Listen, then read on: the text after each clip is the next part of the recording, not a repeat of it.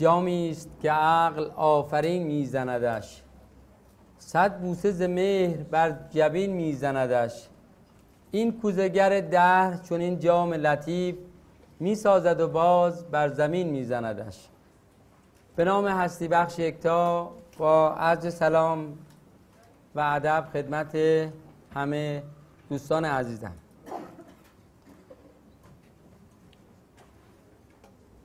در جلسه قبلمون کنترل دشارج خارجی رو استارت زدیم و در خصوص آن مواردی رو مورد بحث و بررسی قرار دادیم. جلسه امروزمون رو با یک بررسی آماری شروع بکنیم ببینیم که دوستان دونستن از این ارتباط استفاده بکنن. یا خیر اگر اشکالی یا اشکالاتی در بین بوده با همدیگه مورد بررسی قرار بدیم. خب دوستانی که کنترل دشارج خارجی رو به نحو مطلوبی مورد استفاده قرار دادن دستشون بلند کنن. خب حالا اون استارت ها خورده. فقط باید در جریان ماجرا قرار بگیرید. که یعنی در واقع استفاده بکنید ازش. خب دوستانی که اتوماتیک به صورت خودکار این مسئله این کنترل انجام می‌شد داشتیم کسانی خود دستشون بلند کنن خیلی عالی خیلی عالی. خب در حد متوسط در حد متوسط زیر متوسط. خب زیر متوسط نداشتیم یکی دو درصد خب حالا دوستانی که به هم ریختگی داشتند دستشون رو بلند کنند. خب این به هم ریختگی ها رو یه طبقه بندی کنیم دسته بندی کنیم ازش نتیجه بگیریم. تا یک مقدار بیشتری با مسائل پشت پرده این قضیه آشنا بشیم. کسانی که در مورد اسکن بیماری هم چیزی داشتن دستشون رو بلند کنن. خب. در مورد آیا بیماری چیزی هم در این رابطه خودشون نشون داد یا نه؟ چون اونطور که صحبت کردیم یک دسته از مشکلات جسمی روانی و ذهنی ما در همین رابطه است. و توی اسکن دوباره خودشو نشون می‌داد. ما در مورد کارهایی که در جهت تعالی انجام میشه به یک قانونی برخورد کردیم و اون گفتیم که کمال ضد کمال. درسته؟ در دوره قبل به شکلی بررسی کردیم دیدیم یک منی وجود داره که نمی‌خواد بگذاره ما در یک لحظه حضور داشته باشیم. در مورد در این مورد هم دوباره اگه بگیم این هم باز داره یک من دیگری است خب و یا اینه که به هر صورت عاملی در کار هست تا ما همواره در فاز منفی به سر ببریم. یعنی وظیفه اینه که کاری بکنه ما عمدتا در فاز منفی به سر ببریم. به محض اینکه ما اومدیم حرکتی کردیم. مثلا یه استاد زدیم یه ارتباطی رو وارد شدیم. در جهت کنترل دشارژ می‌بینیم که یک مقاومت هایی ظاهر شد. حالا در بعضی ها خیلی محسوس تر این مقاومت ها در واقع حملاتی است که به صلاح به صورت حمله فریب البته همش یه چیزه ها همش حمله است. به صورت های مختلفی می‌تونه اتفاق بیفته. این حملات یکی از شکلاش به صورت دشارژ غیرعادی. خب ما می‌خواستیم که کنترل دشارژ بکنیم. حالا یه دفعه ببینیم که اصلا نمی‌دونیم از کجا. چون منبعش معلوم نیست. نه اتفاق بیرونی افتاده نه چیزی شده. خب اصلا اتفاق نیفتاده. ولی ما نمی‌دونیم چطوریه که درست برعکس ما به شدت دشارژیم چند نفر داشتیم؟ خب یعنی اتفاقی نیفتاده که ما بگیم خب این اتفاق افتاده. به این علت ما دشارج هستیم. اگه بگن چرا دشارجی هیچ علتی براش علت خاصی براش نداریم. ولی خب یه حمله ای به دنبال این حمله ما این نتیجه رو می‌گیریم. یعنی این چیز بهمون القا میشه که ای بابا و این چه کنترل دشارجیه که ما اصلا وضعیتمون خیلی هم بدتر شد. درسته یا نه؟ خب این هم فریب هم حمله است. یعنی از یه نقطه نظر ما در معرض این حمله قرار گرفتیم یه دشارج غیرعادی به ما القا شده و از اون برم فریب به ما القا میشه که بیفایده است. یعنی می‌خواد بگه که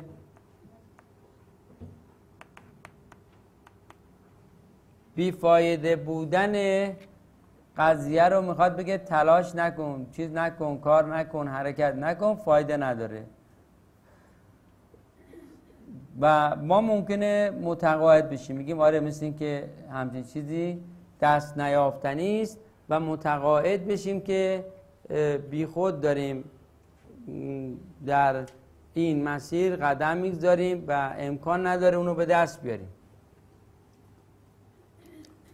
درسته؟ خب همه فریب ها در واقع می‌خواد بیاد ایجاد ناامیدی بکنه به نوعی همه فریب ها قراره به نوعی به ناامیدی منجر بشه.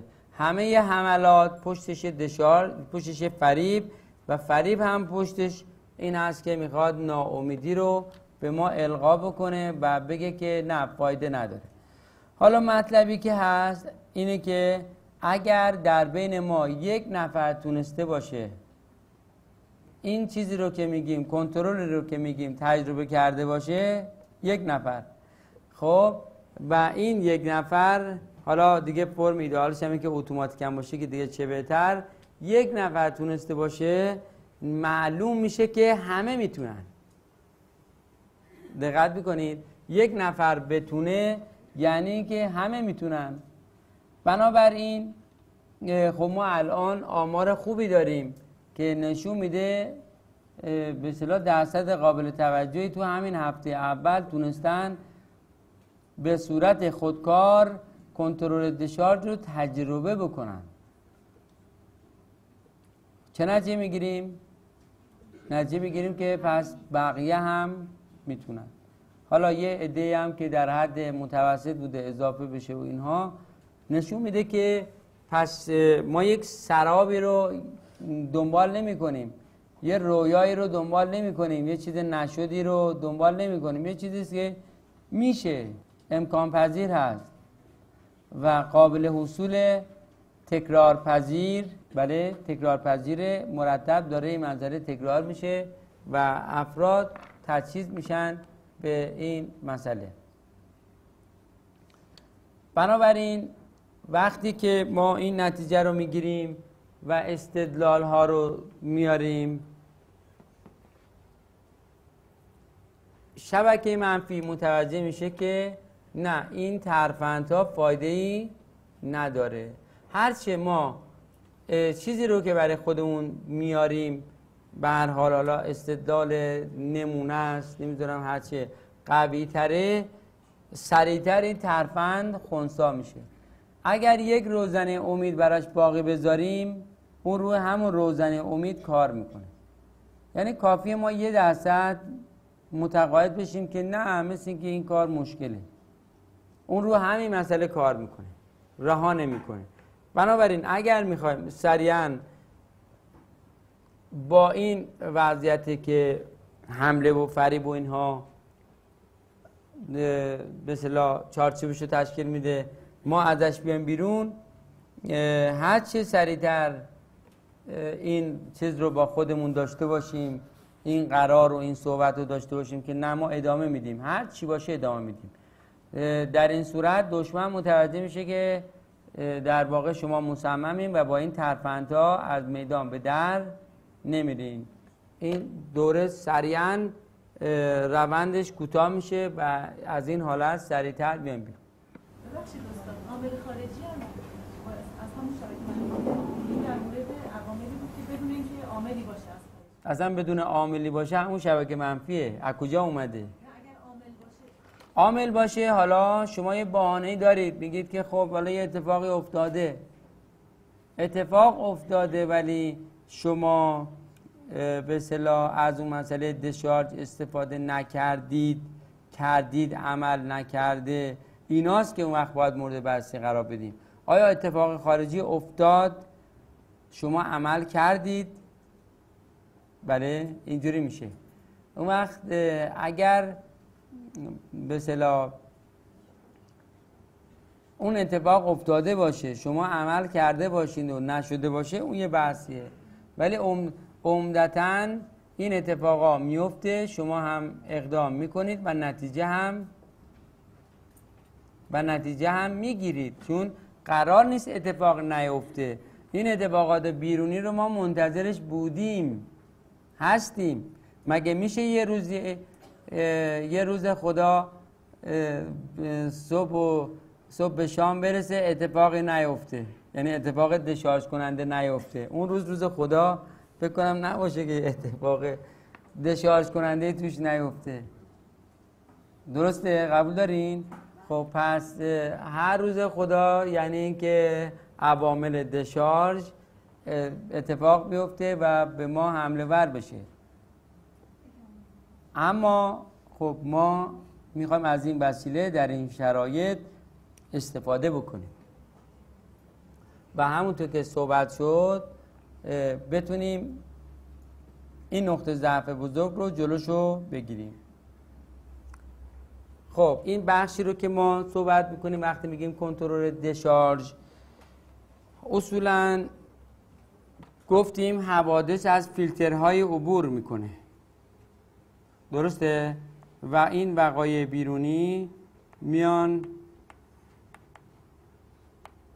از فیلترهای عبور می‌کنه. یکی از این فیلترها فیلترهای بینشی بود که خب دور قبلی روش کار کرد.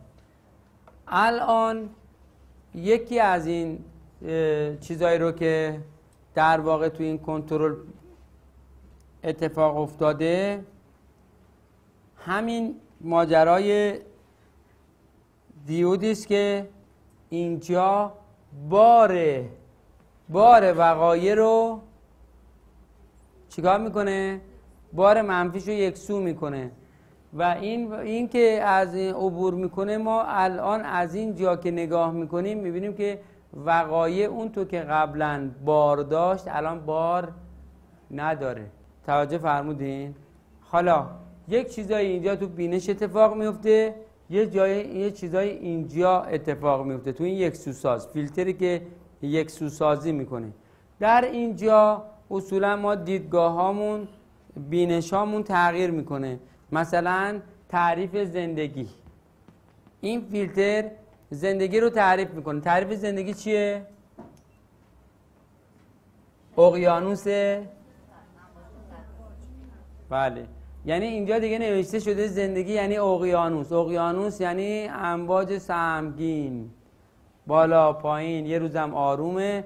همچی تا میگه ای عجب آرومه. یه دفعه میگه امواج سهمگین شروع شد و این کشتی نمی‌دونم زندگی ما میره بالا میاد پایین. و دیگه این برای یک سیاه برای یک دریانورد امریست عادی. یک دریانورد حرفه‌ای هرگز نمیگه که چرا نمی‌دونم ما داریم اینطوری کشتی داره اینطوری میشه. هرگز همچین سوالی نمی‌کنه. برای اون امریست عادی که توی اقیانوس اقیانوس هم یعنی همین. این خب اما اگر این تعریف رو اینجا نداشته باشیم هر روز هم میگیم که وای چرا اینطوری شد؟ آی چرا اونطوری شد؟ آی چرا رفت بالا؟ آی چرا اومد پایین؟ خب اما الان هر لحظه منتظر یه حادثه ناگوار و خوشگوار هستیم. به یک امری بدیهی و طبیعی. هرگز تعجب نمی کنید خب پس اینجا تعاریف خوابیده. تعاریف ما.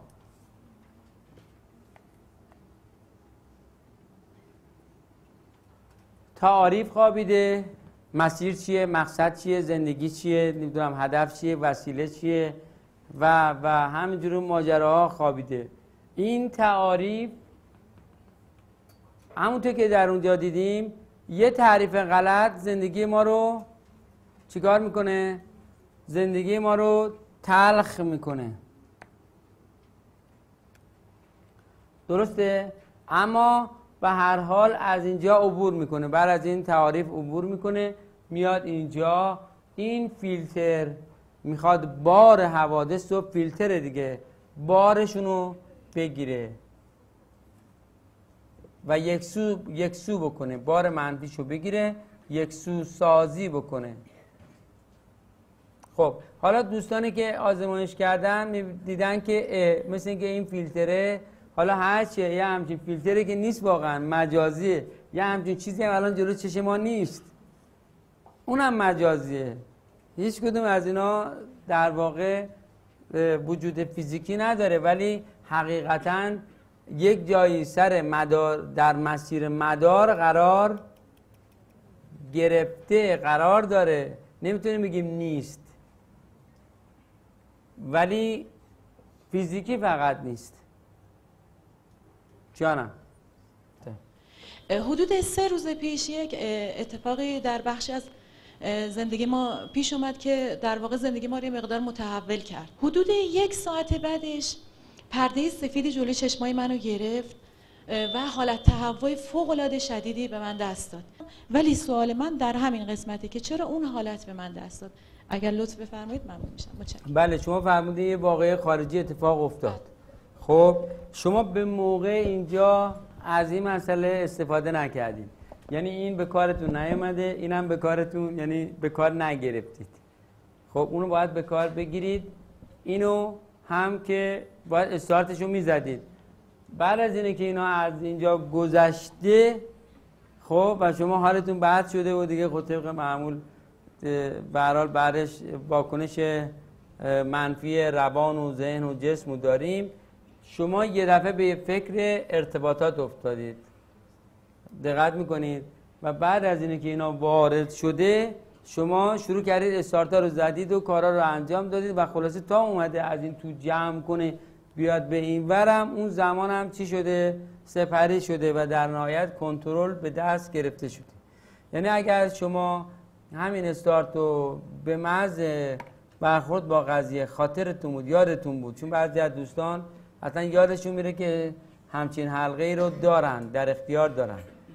بعضی از دوستان در اول اول ممکنه باور نکنن که اصلا همچین چیزی میشه. حالا علا رقم اینکه همه توضیحاتی که دادیم علا رقم حالا همه آزمایشاتی که دوره های قبل و چیزهای دیگه انجام دادیم. ولی ممکنه که دوستان خیلی موضوع رو جدی نگیرن. ولی یه بار دو بار سه بار که امتحان کردیم متوجه میشیم که این قابلیت در اختیار ما هست. و می‌تونیم ازش استفاده بکنیم.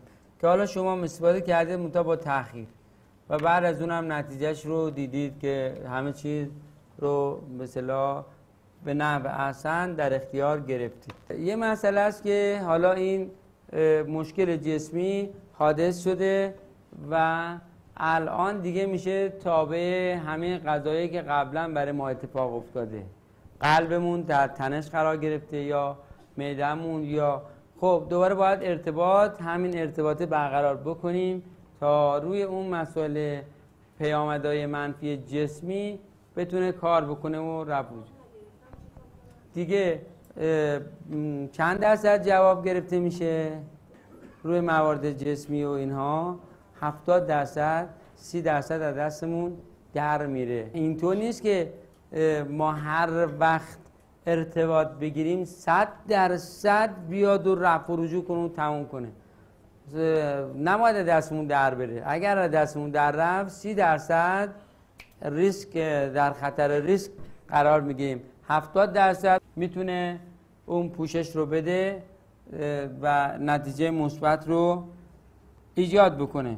اما سی درصد خطر ریسک کماکان به قوت خودش باقی است. ببینید بینایت حاد بشه شما- وقتی که یه آدم معمولی دچار مشکل یه تنش میشه مثل قلبش بعدش چی میشه؟ چه اتفاقی میفته؟ ممکنه کارش به آی سی هم خب بکشه. در این مورد هم سی درصد روند معمولی رو طی می‌کنن. این روند معمولی ممکنه از آی سی و سایر جاها سر در بیارن بیرون. 70 درصد هم نتیجه مثبت می‌تونه یعنی با ریسک 30 درصد. 70 درصد هم نتیجه مثبت بگیرن در دم مسئله حل و فصل بشه جمع جور بشه اثری ازش باقی نمونه. بنابراین باید سعی بشه که عبور نشه. چون اگر عبور, عبور بشه ما 70 درصد جای جبران داریم. 30 درصد جای جبرانش رو نداریم فرق نمی‌کنه. چه ما باشیم خب چه از بیرون باشن. ما هم همون شوک هم به هم به ما هم همون ضربه رو می‌زنه. هیچ فرقی نمی‌کنه. فقط ما باید قابلیت اینو داشته باشیم که همینجا جلوشو بگیریم. همینجا جلوشو بگیریم. حالا اتوماتیک بشه که دیگه حتی ما راجبش هم چیز نمی کنیم چون خودش به طور اتوماتیک در یک فیلتر هوشمنده. فیلتر هوشمند در واقع اینطوری عمل می‌کنه. این فیلتر هوشمند خودش تشخیص میده که چه چیزایی که داره و ورودی که داره برای ما تنش میاره می‌تونه برای ما تنش بیاره خودش تشخیص میده. از تشعشعاتی که داره بار این, این هست. از شعوری که سوار اینه.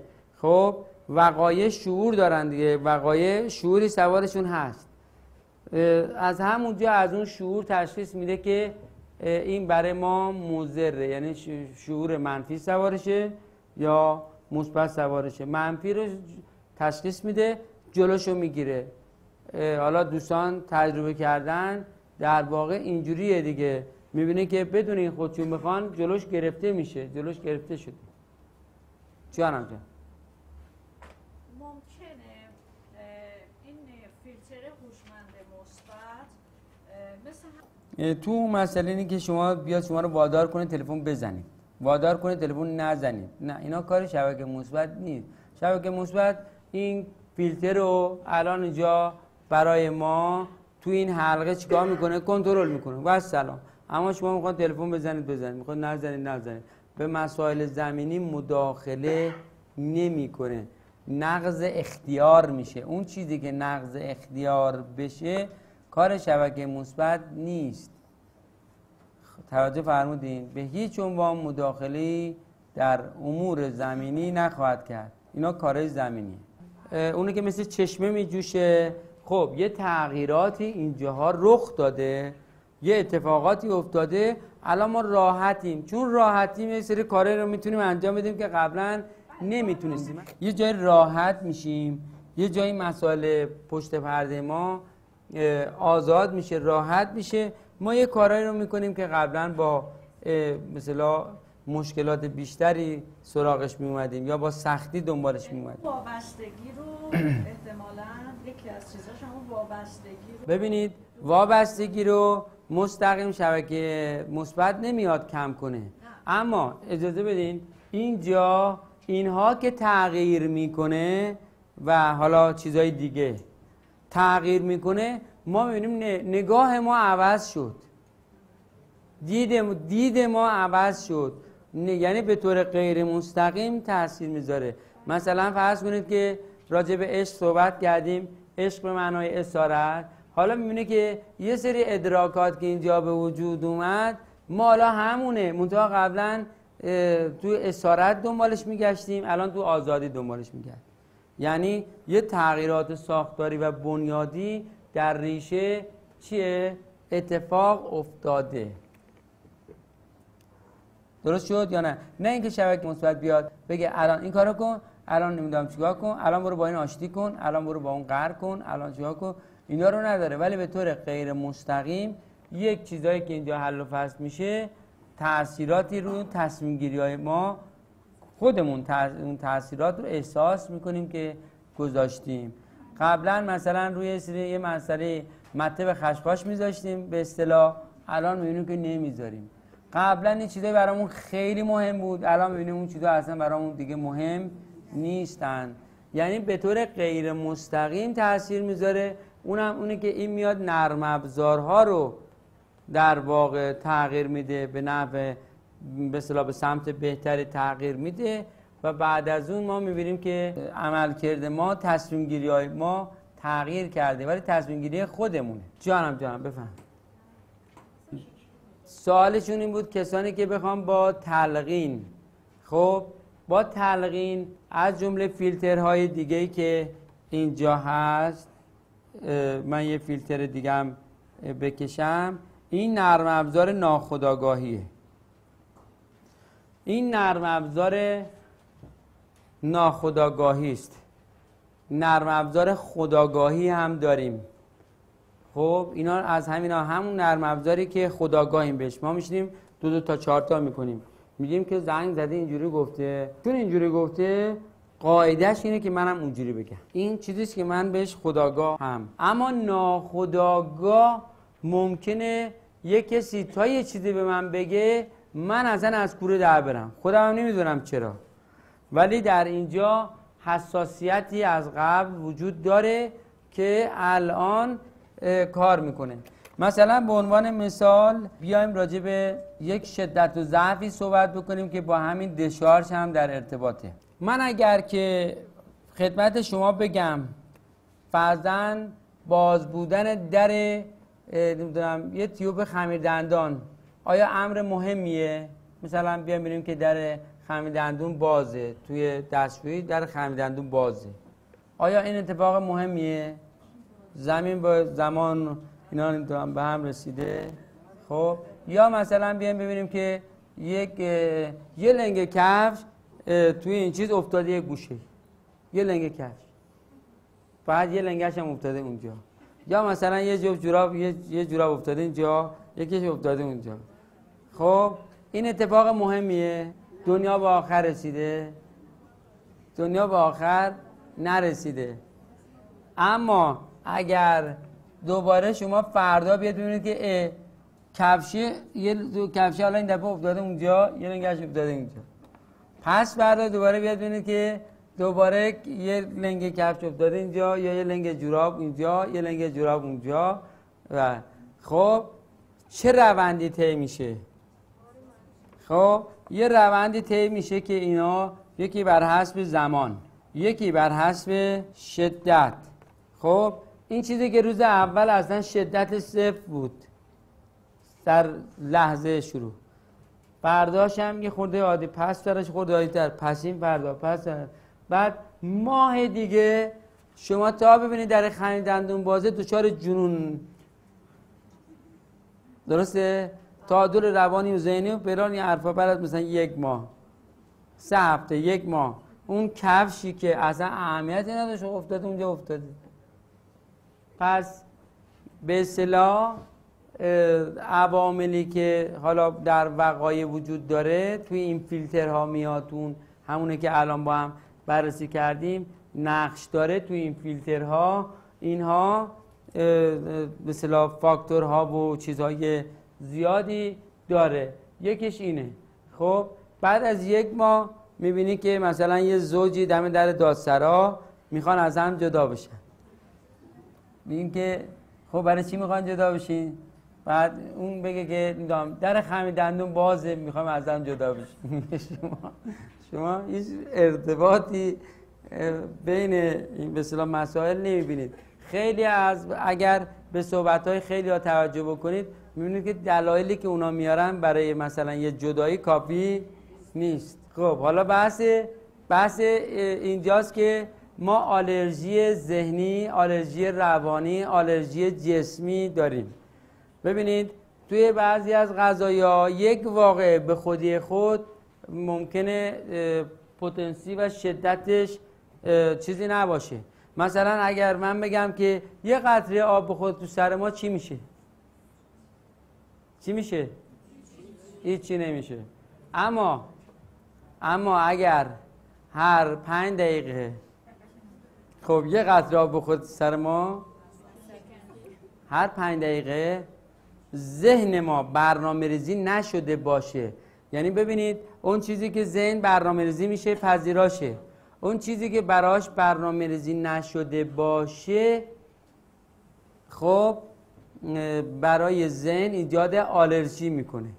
مثلا حالا فرضاً یعنی انتظار اینه که در خمیر دندون باز باشه برای ذهن ما تعریف نشده. ذهن ما اینطوریه که به اصطلاح خمیر دندون رو ببینیم باید حتما درش بسته باشه. میایم تو اینجا جا کفشی حتما باید کفشا چی باشه؟ منظم باشه. اگه بیایم اینجا نمی‌دونم همه چی اینجوری باید باشه. اون قانون نظم و بی‌نظمی یادتونه یا نه؟ اون قانون نظم و بی‌نظمی ذهن ما رو برنامه ریزی می‌کرد برای پذیرش هر واقعی اون وقت آرژی ذهنی پیش نمی اومد یعنی اونجا هدف ما این اینجا بوده. بحث اونجا اینجا.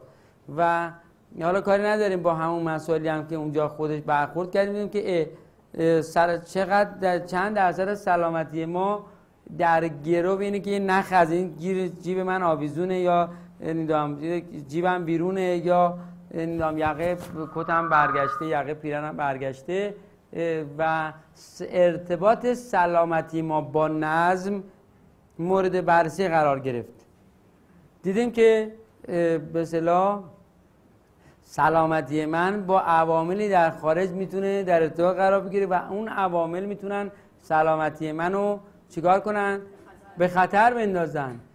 ما باید سلامتیمون مستقل از عوامل بیرونی باشه. علت اون بحث تشویق به شلختگی و لاوبالیگری اونا نبوده. علتش اینه که اصولا سر هیچ چیزی از خارج نباید سلامتی ما رو به خطر بندازه. خب حالا وقتی که میایم اینجا می‌بینیم ذهن ما براش تعریف نشده یه قطره آب هر پنج دقیقه بیاد بخور تو سر ما. چون تعریف نشده غیر تلقی میشه. چون غیر عادی تلقی میشه خلاف قانون نظم و بی‌نظمی میشه. یعنی خارج از رویه نظمه. چون خارج از اونه لذا از این نمودار تبعیت می‌کنه. بعد از سه چهار ساعت یه دفعه روند رو به افزایش می‌گذاره و بعد از دو روز یه نفر رو میشه دیوونش می‌کنه. خب یعنی میشه لطمه غیر یعنی یه نفر یعنی منظورم نفر آدم معمولی آدم معمولی.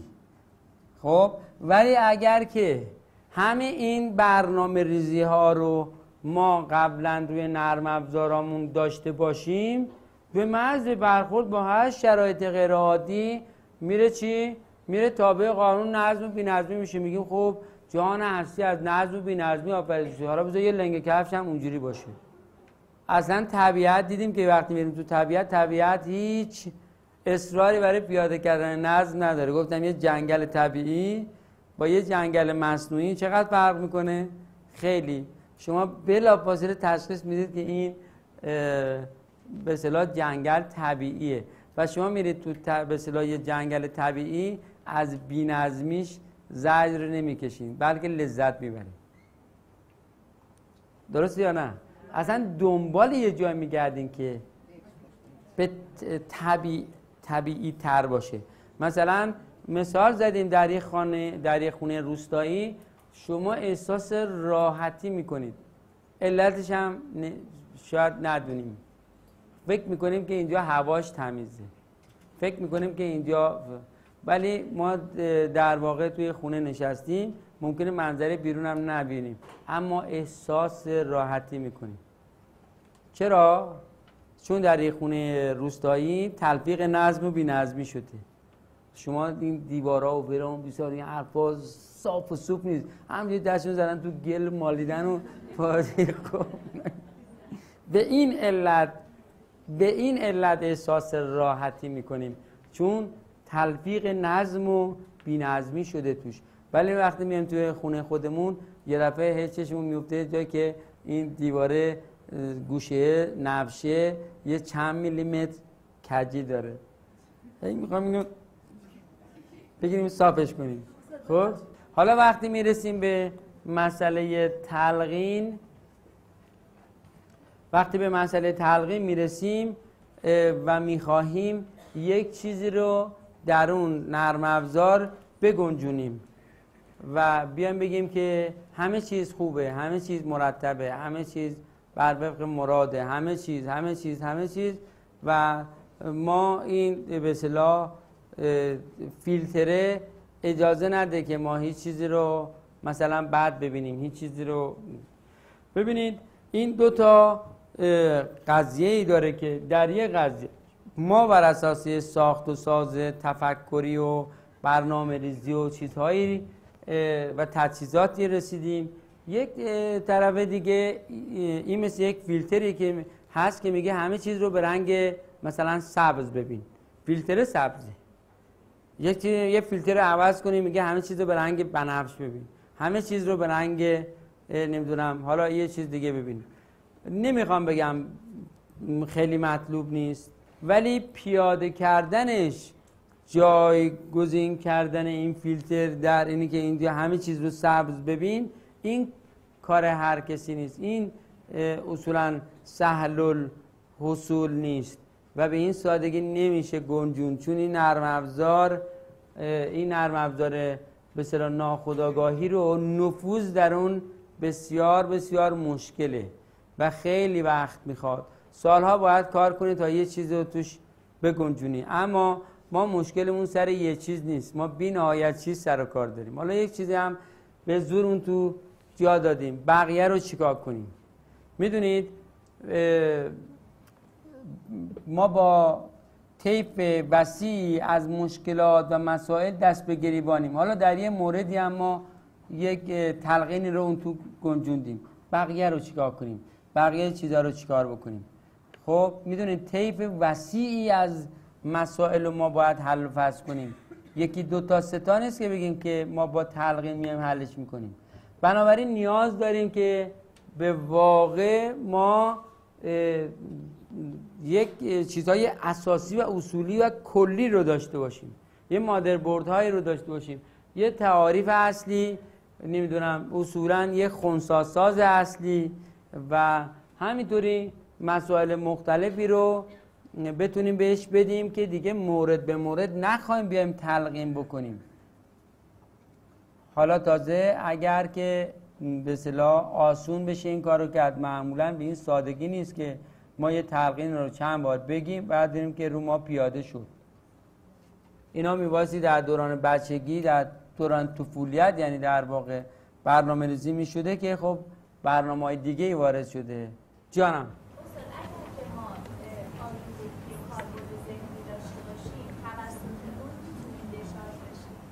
ایشون تاثیر موجودات غیر ارگانیک رو در به مسائل ما دیدگاه های ما من حالا کلیترش می‌کنم. دشارژ ما خوشحالی ما همه اینا در واقع جویا شدن. خب یکی از این فیلترهایی که اینجا وجود داره این فیلتره که تحت تاثیر القاعاتی که خارج از حوزه تصمیم گیری ماست. مثل موجودات غیر ارگانیک. الان یه نفر که آلودگی موجود غیر ارگانیک داره یه دفعه اینه که بیخودی داره میخنده. قه قه داره میخنده. درسته؟ می‌بینید که نیم ساعت دیگه داره گریه می‌کنه. یک فردا میبینیش یه جوره پس فردا می‌بینی یه جوره. نمی‌دونم. و همونطور که اونجا صحبت کردیم قبلا به اصطلاح موجودات غیر ارگانیک تأثیراتی در تغییر رفتاری پنداری و حتی گفتاری ما می‌تونن داشته باشن. این دیگه برای دوستان فکر می‌کنم این مطلب جا افتاده باشه. درسته یا نه؟ خب پس در واقع اینا که داره از اینجا عبور می‌کنه که از این فیلترام همینه که آیا ما اینجا این تاثیر هم داریم یا نه؟ من واقعی ندیدم که الان بخوام قهقه بزنم زیر خنده ولی دارم میخندم. درسته یا نه؟ یعنی در واقع این فیلتر اینجا مداخله کرده گفته همه چیز رو به رنگ زرد ببین الان. من دارم زرد می‌بینم. اما چیز زردی در بیرون وجود نداره. و این فیلتره که داره اینو به من القا می‌کنه. و حالا این موضوع تغییر رفتاری و تغییر سلیقه و تغییرات مختلف خب خودش یک موضوع عجیب غریبیه که توی تششع دفاعی زیاد روش کار می‌کنیم زیاد روش تاکید می‌کنیم و می‌بینیم که یک دسته از رفتارهای ما تحت تاثیر تحت تاثیر مثلا موجودات غیر ارگانیکه. تو این نرم افزار ناخودآگاهی باز اگر که بخوایم چیز کنیم یکی از این فیلترها مادر دومه که معرف حضور هست. خب؟ خیلی یه درصدی از حرفایی که می‌زنیم حرف خود ما نیست. حرف مادر دومه است اونطور که قبلا هم صحبت کردیم. آیا ما درست می‌بینیم الان؟ با این حساب می‌بینیم که نه ما مطمئن نیستیم. یعنی مطمئن نمی‌تونیم بگیم که ما درست می‌بینیم. بنابراین خودشناسی خودسازی اینها ایجاب می‌کنه که ما بیایم. اینها رو بشناسیم. دیدین که مثلا در مورد فیلتر بینش این بحث بینش. آیا ما بینشمون درست درسته؟ آیا تعاریفمون درسته؟ می‌بینیم نه. خب باید درستش کنیم. آیا این تجهیزات رو داریم؟ نداریم. خب باید داشته باشیم. آیا اینجا این ناخودآگاهی و یکی از این فیلترهای دیگه تداعیه؟ خب بینش فیلتر تداعی در مورد تداعی یک چیزی بکنیم که ببینید این چقدر جانم.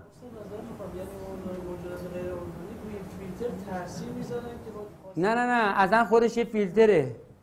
اصلا خودش یه فیلتره. یه القا عامل القا کننده است. اون عامل القا کننده خودش میشه یه فیلتر دیگه. خودش میشه یک بر برنامه که داره به ما چیزایی رو میریزه اون وسط. میگه الان بخند. الان گریه کن. الان متنفر باش. الان از این آدم بدت بیاد. الان به این آدم نزدیک بشو. خب یکی از این فیلترها تداعی است. مثلا فرض کنید من الان از این بالا میفتم پایین. سرم می‌خوره زمین و درد میاد. در حینی که درد میاد چشمم به قیافه و چهره ایشون می‌خوره. میفته. درست شد؟ این موضوع تمام میشه. و ماجرا خاتمه پیدا می‌کنه. بعد از چیزی من یه نفر رو می‌بینم شبیه ایشون. به محض اینکه ایشون رو می‌بینم سرم درد می‌گیره. دقت می‌کنید یعنی در این ناخداگاهی بین لحظه مثلا ارتباط لحظه ها با هم و حوادث یه چیزی لینک ایجاد میشه رابطه ایجاد میشه. در اون لحظه که درد بوده این درد این دیدن این چهره. حتی مثلا همون لحظه که من زمین می‌خورم بوی ادکلون ایشون خب به مشام من می‌رسه. من بعدا هر موقع این بوی ادکلون به مشامم یا شبیهین به مشامم برسه من سرم درد می‌گیره. و بعدا هی بوهای نزدیکتر به این نزدیک نزدیک دفعه بعد از مدت من هر ادکلونی بوی هر ادکلونی به من به اصطلاح به مشام من برسه من سردرد می‌گیرم. درست شد یا نه؟ خب الان آدم میگه که من هر ما این مشکلات مسائلی که داریم من هر موقع برم پارک خب این اینا رو شما حتما برخورد می‌کنین کسانی باهاتون این صحبت ها رو می‌کنن. من هر موقع برم پارک این مسئله میشم. من بعد از ظهرهای یک شنبه ساعت چهار بعد از ظهر مثلا فرض کنید که اینطوری میشم من نمی‌دونم می‌بینید که حساسیت نسبت به یک ماجراهایی مسائلی که شو اصلا هیچ منطقی بر اون حاکم نیست خب پس اینا از کجا حاکم شده؟ از ارتباط وقایع و همزمانی وقایع با هم دیگه. اینا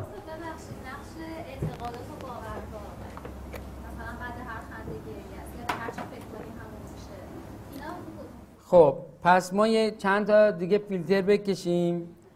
خب این بعد از اینها حالا شما دیگه الان خدمتتون میگم. در پایان می‌خوام اینا رو نتیجهشو بگیرم براتون که پاسخ اینجا هم باشه و پاسخ کلی باشه. خب می‌بینیم که فیلترهای مختلفی وجود داره. نقش این چیز ناخداگاهی که توش دیدیم حتی بیماری هم بیماری هم توش برنامه ریزی شده بود. اگر عرق داشته باشی باد کولر بهت بخوره آنگاه درست شد. همون ماجرایی که به اصطلاح صحبت کردیم. وقتی که بخندی پشت سرش باید آماده گریه باشی. اونا یه چیز دیگه یه صحبت دیگه بوده. مثل ان مع العسرن یسرا. بعد از هر سختی آسونی. بعد از هر آسونی ممکنه سختی به این قانونه. قانون فواره است. ممکنه بیاد. یعنی آماده باش. فکر نکن حالا این خنده این شادی دیگه تا ابد و دهر ادامه داره. یه شاید من نمی‌دونم منظور گذشتگان از این صحبت ها دقیقا اصلا چه لفظهایی رو به کار بردن. ولی شاید منظور اونا همین بوده که آماده باشین. این دنیا به همین پاشنه این دره همیشه به این پاشنه نمیچرخه به این اصطلاحات قشنگی که بوده. بنابراین داره میره بالا. ممکنه بیای پایین. حواستو جمع کن.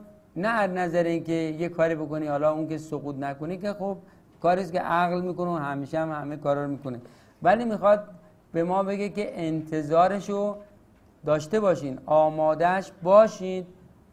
که اگر آمادهش نباشین یه شوک ثانویه هم از این طریق به اصطلاح وارد میشه.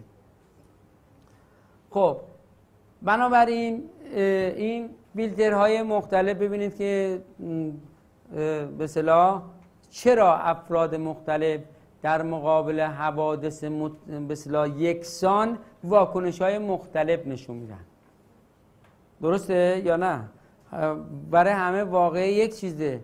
ولی بی نهایت واکنش داریم. چرا؟ چون که این وقایع از فیلترهای متعددی عبور می‌کنه. هر کدوم از ما در هر کدوم از این فیلترها یه سری برنامه های اختصاصی داریم و نتیجه نهایی قضیه اصلا کاملا متفاوته. ولی نتیجه که از این بحث بخوایم بگیریم ولی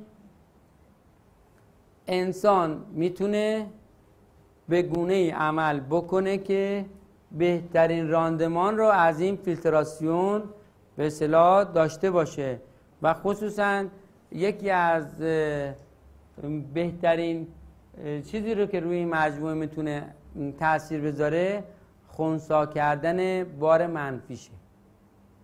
خب خونسا کردن بار منفیشون هست و شما می‌بینید در مقابل یه واقع یه حرف. دو نفر یک حرفی رو میشنون یعنی یه نفر به دو نفر مقابلش یه حرفی رو می‌زنه یکی به شدت ناراحت میشه یکی اصلا عین خیالش نمیاد. همینطوره؟ پس ببینید که میشه به گونه ای این فیلترها برنامه ریزی بشه که ما حداقل ضربه رو بخوریم. و میشه حد اکثر ضربه به ما وارد بشه. این اهمیت قضیه است که در واقع در انسان شناسی در خودشناسی در شناخت کیفی وجود انقدر اهمیت پیدا می‌کنه که ما این فیلتراسیون رو بشناسیم براش برنامه ریزی داشته باشیم. و نمونهش هم نمونهش هم همین مسئله اه، پتانسی و شدت و ماجرای جورابه جوراب و خمه دندون و اینها که در واقع زندگی زندگی انسان عمیقاً دستخوش تغییر و تحولاتی است که اون وقایع به خودی خود ارزش آنچنانی نداشتند و ندارند. ولی عدم آمادگی ما تو برنامه های فیلتریمون باعث شده که از کاه به اصطلاح کوه ساخته میشه یعنی یک کاه بعد از یک مدت تبدیل میشه واقعا به یک کوه و آلرژی ذهنی ایجاد می‌کنه. به دنبال آلرژی ذهنی آلرژی روانی ایجاد میشه. آلرژی روانی در واقع می‌خواد به همون آلرژی ذهنی پاسخ احساسی بده. اول ذهنیت بود. خب؟ یعنی ذهنیت این در خمیدندون باز بودن ذهنیته.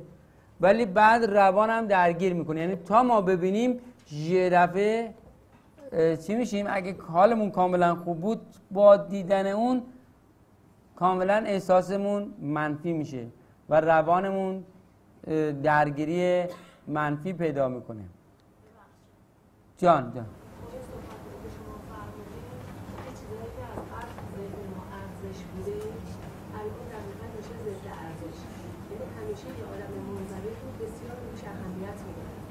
سوال ایشون این بود که با این حساب خیلی از ارزش ها تبدیل به ضد ارزش میشه. اون چیزی که در قبلا در ذهن ما بودن و به عنوان ارزش شناخته می شدن حالا تبدیل میشه به ضد ارزش.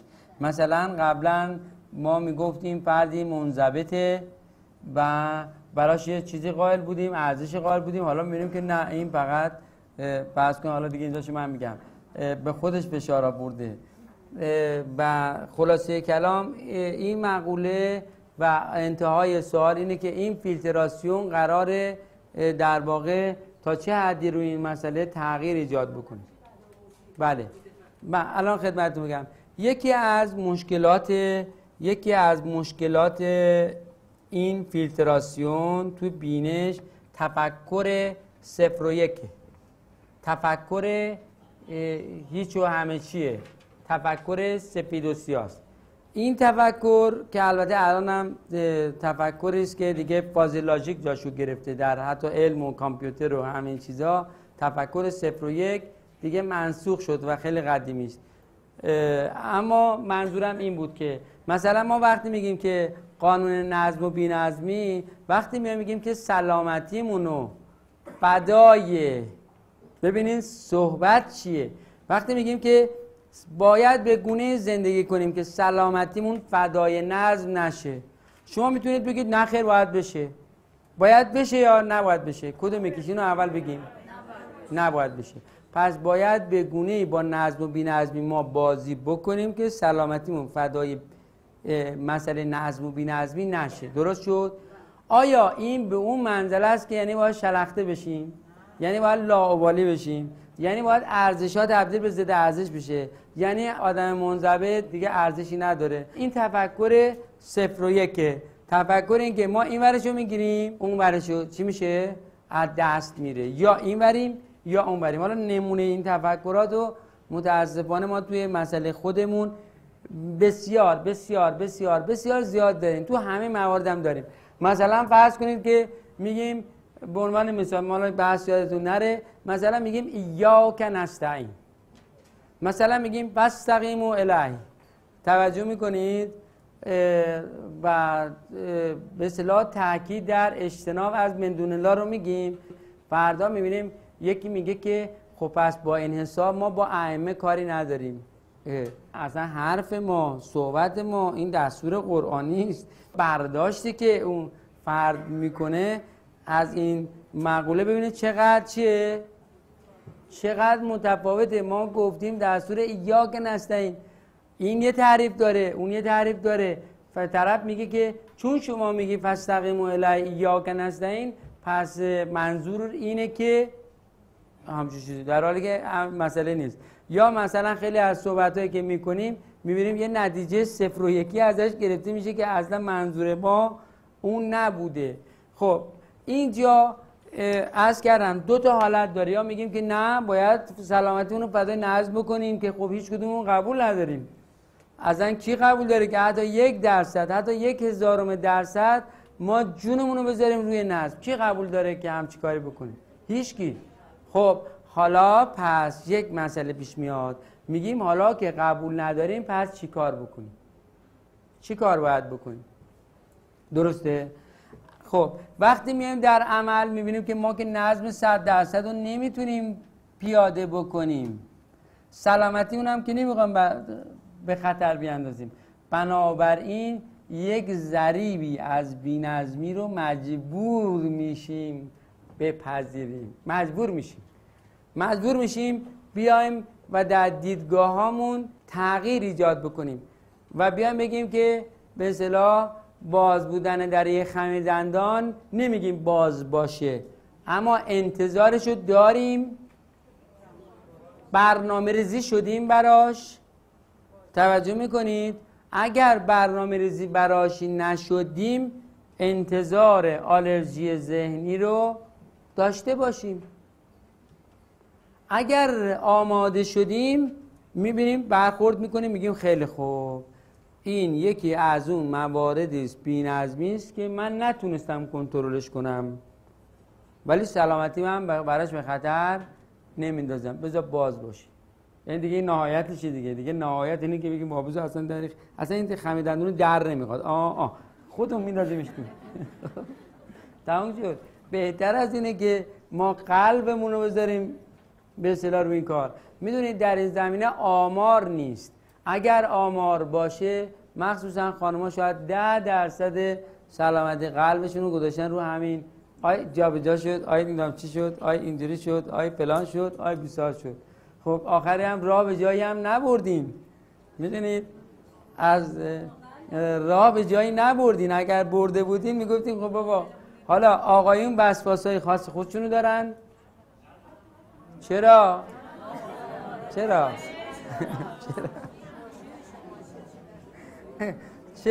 اگه میگی نداریم بریم یه سری سی سی و آسیو اینا بزنیم تا ببینیم که آقایون بیشتر اونجا یا خانما آمار آقایون اونجا بیشتره. نشون میده که نشون میده که آقایون یه جای دیگه وسواس دارن. یعنی چی؟ وسواس اونا در مسئله نظم یه جای دیگه هست مثلا تو کاره. این بیزینسه می‌خوان سر این زمانه بشه. همه حسابا کتاب شده. وقتی نمیشه مثل همون جابجاییه که تو کار برای خانم پیش میاد. بعد نظم و بینظمی اونجا به هم خورده. حالا بریم ببینیم که آمار تلفات قلبی آقایون بیشتره یا خانما بیشتره. کدوم بیشتره؟ آقایون بیشتره.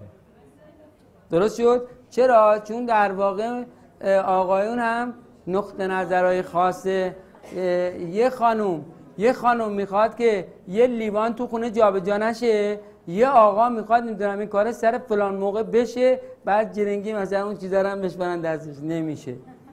نمیشه. این در واقع هر دو گروه دارن چیز می‌کنن. دارن یه جوری درگیری بیخودی حالا ببخشید با اصطلاح بچه ها جرزنی می‌کنن. یه جوری در واقع با این مسائل درگیر هستن و هر دو گروه سلامتیشون در خطره. یکی از چیزایی که ما رو از پا میندازه آلرژیه و ما حالا ارتباط ارتباط بین آلرژی جسمی و آلرژی روانی و ذهنی رو الان نمی‌تونیم نشون بدیم. ولی امیدواریم در آینده با تحقیقات نشون بدیم افرادی که افرادی که آلرژی های جسمی رو در واقع دارن به دنبال آلرژی روانی و قبل از اون آلرژی ذهنی اینها به هم به گونه ای ما مرتبط میدونیمشون. یعنی جز عواملی می‌دونیم که شعور سلولی رو مختل می‌کنه. خب یا نه؟ یه جورایی ملموس اگر که بریم تحقیقات بکنیم تحقیقات آماری چیزی بکنیم می‌بینیم که شاید به این نتیجه برسیم که بخشی از این آلرژی ها بخششون چون بخششون شیمیایی خود عنصر شیمیایی ایجاد تحریک می‌کنه. ولی بخشی از این آلرژی ها به اصطلاح وجود عناصر شیمیایی و بیرونی نیستند بلکه انتقال پیدا کرده. آلرژی ذهنی و به دنبالش آلرژی روانی و بعد آلرژی جسمی. اینا رو به اصطلاح اگر بخوایم در کنترل داشته باشیم مجبوریم یک همچین غذایایی رو دنبال بکنیم. حالا ما که خودمون اعتقاد داریم باید این مطالب نهادینه بشه. همه صحبت هم همین, همین قضیه که روپ در دنیای ارفان پند و نصیحت و اینا نیست. مثلا من یه مثال بزنم. در مورد بینش هایی که ترم قبل رو هم صحبت کردیم چند تا از دوستان احساس کردن که اصلا این موضوع با وجودشون کاملا آشنا و عجینه. یعنی همراه با دریافت آگاهی و اینا همراه شد و نهادینه شد. چند نفر از دوستانمون؟ ببینید این مسئله است. در دنیای عرفان برای خالی نبودن عرضه صحبت ها رو میشه ولی در نهایت باید نهادینه بشه. با پند و نصیحت و اینا نیست. یاد آدم یادش میره فراموش می‌کنه. بعدم اینا دستورالعمل می‌خوای اینو اجرا کنی اون از دستت رفته. می‌خوای اونو اجرا کنی این از دستت رفته. شما همش باید کتاب آینامه تو دستتون باشه که اینجا الان تو مسیر و مقصدی. الان حق با کیه؟ الان چه جوریه؟ الان به توجه می‌کنید نمیشه. اینا باید نهادینه بشه. عوامل من ضد کمالی که هستن نقششون اینه که یه کاری کنن که ما رو مرحله پرتمون کنن. خب مثل اینکه من الان دارم شما نگاه می‌کنم میگه یه نگاه اونجا بنداز یه نگاه اونجا بنداز. من از اون مسئله چیزه در واقع قافل میشم. از دستمون در میره بیرون. جنوب برای دعاهایی هست میبندن اینا که میجنگه بعد تیر عمل نمی‌کنه خشابه یه کارش می‌کنن خلاصه. بعد دیگه اون توی تیر اثر می‌کنه. اینو می‌تونین در این مورد توضیح بدین؟ بله. ببینید اینها رو شما کلا در قالب تلس ببینید که شرط جاری شدن داره. شرایط جاری شدن. هر تلسمی شرایط جاری شدنش رو به صلاح مشخص کردن قرار گذاشتن. با در واقع شبکه منفی که اگر این کار این کار این شد آنگاه این جاری باشه. و حالا در مورد این ترسم تیربند به این صورته که یکی از چیزاش اینه که یکی از بخش های اجراش اینه که پای نجاستی به میون باید باشه. ربطی به اون مسئله نداره که یه همچین قضیه. در واقع اینجا این تلسم و اون مسئله چیزایی که جاری میشه دوستان همه گرفتن که موضوع که موضوع چی.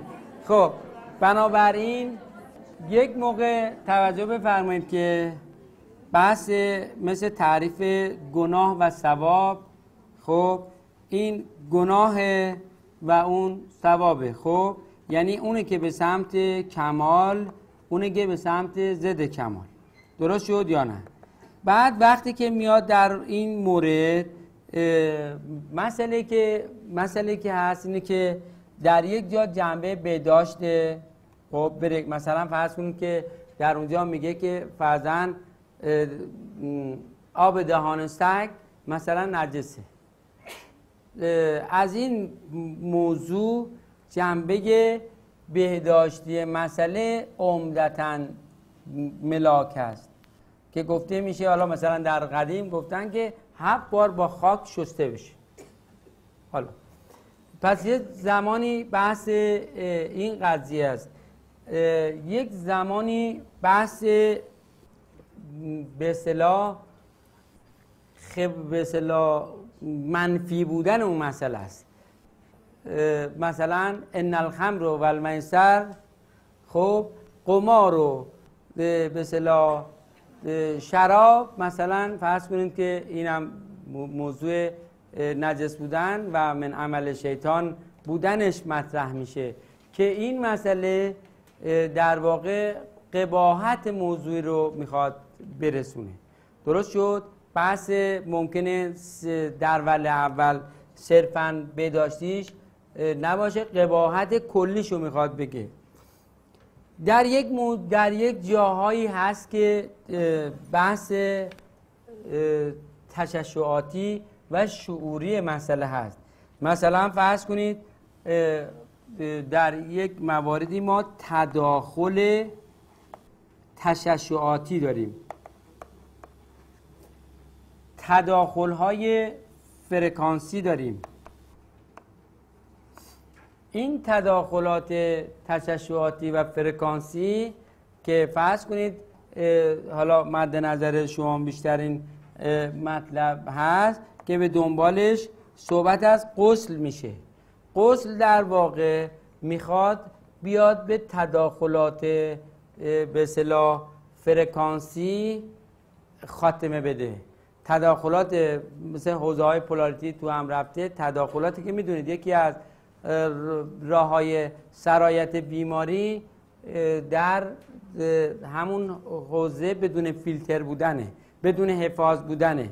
و خیلی ها که کارهای درمانی در شاخه های مختلف می‌کنن می‌دونید که در معرض بیماری قرار می‌گیرن در معرض اون تشعشعات قرار می‌گیرن. این مسئله است. و برای خاتمه دادن به اصطلاح این تدا- تداخل تشعشعاتی و فرکانسی و حوزه‌ای خب یعنی در واقع اینا بیشتر حوزه مثلا حوزه مثلا پولاریتی یا حوزه هایی که به اصطلاح اون صورت شناخته شده نیست این غسل میاد و خاتمه برای این قضیه میده. وگرنه اینجا دیگه شاید خیلی از اون مسائلی که قبلا صحبتشو کردیم مثل قباحت مثل نمی‌دونم چی. اینجا اصلا مطرح نیست. فقط می‌خواد بیاد و یه خاتمه بده. چندین موضوع رو ما از همین بحث پاک و نجس بودن می‌تونیم داشته باشیم که هیچ کدوم به خودی خود چیز نیست مطلق نیست. معنای مطلقی نیست. به صورت نسبی هشداری رو می‌خواد بده. یعنی هشدارهایی است که به صورت نسبی می‌خواد تذکرش داده بشه و به دنبال اون با یه سری کارهایی با یه سری مسائلی چیکار بکنه؟ خب حالا دیگه نمی‌دونم توی این بحث اگه بخوام بیارم راجع مثلا خون راجع به نمی‌دونم خب خیلی از مسائل دیگه عنوان بشه. شاید درایتی بوده که یکی از به اصطلاح بخش های آلوده یعنی می‌تونه آلوده باشه بحث خونه. حالا این درایت از کجا بوده چطور بوده؟ الان خود دیگه می‌دونیم چقدر خون بحث خون چقدر مسئله مهمی هست.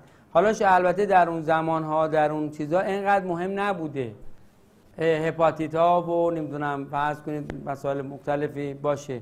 ولی به, به هر حال در این خصوص فرزن این هشدار داده شده این هشدار رو متوجه شدن که هر در مورد خون در مورد بحث ادرار در مورد این چیزها که فرزن توی دستورالعمل ها به عنوان نجاسات و اینها اسم برده شده بدون اینکه خب پشتیبانی علمی خاصی داشته باشه در اون زمان ها ولی خب الان دیگه می‌دونیم که همینا پشتیبانی علمی داره.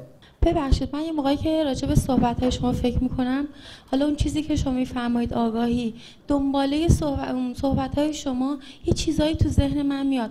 منتها به خودم اجازه نمیدم که فکر کنم اینا آگاهیه. میگم من هنوز در اون مرحله به اون شن نرسیدم. یکی از ترفندهای شبکه منفی اینه که ممکنه به هر کسی بگه که نه تو هنوز به اون شن نرسیدی در این حد نیستی نمی‌دونم لیاقت هنوز نمی‌دونم. از این صحبت ها خب در حالی که اینطوری نیست. شما اون چی رو که به اصطلاح بهش می‌رسید مکتوب بکنید بعد مثبت منفیش رو جدا بکنید. کدوم از شبکه مثبت کدوم از شبکه منفیه؟ و اصولا هرچی هست یک ارزیابی روش انجام بدید. اون وقت معلوم میشه. همینطوری ترفند شیطان اینه که نه هنوز شما اینطور نشده اونطور نشده یعنی در واقع میاد و این قضیه رو قطعش شما رو می‌بینم فکر می‌کنم که من تا مثلا به پای شما برسم شاید سالها باید ریاضت بکشم. برای همین تصور می‌کنم که که اصلا اینطوری نیست. این مطلب اولا خب این محبت شماست. بنده خودم رو اصلا در این حدی که شما میفرمایید نمی‌بینم.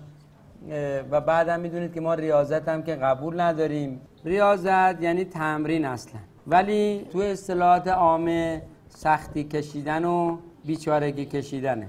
درسته؟ اگر به این معنا باشه این مردوده. اگر به معنای دنبال کردنه خب ما الان داریم داریم به نوعی مشق می‌کنیم. به نوعی داریم مثل کار ریاضی ریاضی همون تمرین کردنه. به, به, به عبارتی داریم با هم تمرین می‌کنیم. یعنی داریم در واقع یه جورایی مثل یه ورزش میمونه که نمی‌دونم دست و پنجه نرم کردن و این چیزاست دیگه. و بنابراین این کارا داره صورت می‌گیره. بنابراین یک موضوعی هست که ما اعتقاد داریم که نسل بعدیمون خصوصا و از حالا به بعد باید گام های بسیار به اصطلاح فراختری برداشته بشه. گام های بلندتری برداشته بشه. و داریم این کارو می‌کنیم. قرار نیست که فکر کنیم که هر کدوم از ما دیگه آخر قضیه هستیم. نه باید بیان مخصوصا نسل جدید از ما بگذرن. و ماها رو پشت سر بگذارن. چون ما در شرایطی به اصطلاح م، به این قضایا رسیدیم که نسل گذشتمون چیزی رو تحویل ما ندادن. و تازه نرم افزارامون هم قفل بود با اجازتون خود درسته یا نه؟ ولی این نسل بعدی و به هر حال از حالا به بعد می‌تونن طور دیگه فکر بکنن می‌تونن مسائل جور دیگه دنبال بکنن و نقصانهای ما رو جبران بکنن. اینجوری باید به مسئله نگاه بکنیم. و اگر قرار باشه که ما همدیگر رو نگاه بکنیم و بعد بگیم که خب من من از اون پایین ترم من از این کمتر من به این نمی‌رسم این از این- کار درست در نمیاد. و توی این چارچوب همچین صحبتی نیست و نخواهد بود. بنابراین اون چی رو که پیدا می‌کنید با شجاعت بنویسین بعد پردازش بکنید باید پردازش حتما بشه. اطلاعات شبکه منفی مثبت اینا جدا بشه. بعد این تبهر برای شما ایجاد میشه. تبهر اینی که بتونید آنالایز بکنید. بتونید اطلاعات درست و غلط تو یعنی درست و غلط همش درسته ها. یعنی تمام این اطلاعات به درد می‌خوره. اطلاعات شبکه منفی هم به درد می‌خوره اگه بیاد. خب؟ ولی باید آنالایز بکنیم تفکیک بکنیم که کدوم اینه کدوم اینه. از این چجور میشه استفاده کرد؟ از این چجور میشه استفاده کرد؟ مثال بارها گفتیم اولین درس رو کی به ما داده؟ شیطان. شیطان اولین معلم ما بوده. و گفته انا خیر منهو من از او بهترم. ما این درس رو از شیطان گرفتیم. سعی می‌کنیم که ما نگیم. یعنی می‌دونید این درس رو از شیطان گرفتیم و داریم بدلش رو می‌زنیم. سعی می‌کنیم اونه که اون به ما یاد داد گفت یعنی منظورم بود که این محور اصلی. حالا بله ادب از که آموختی از بی ادبان ما از بی ادبان می‌تونیم چیکار کنیم؟ ادب یاد بگیریم. لذا این قابلیت پردازشگری و این مسائل رو ما می‌تونیم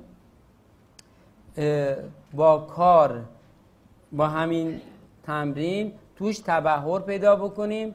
خیلی اهمیت داره. خیلی مسئله مهم. حالا بفهم.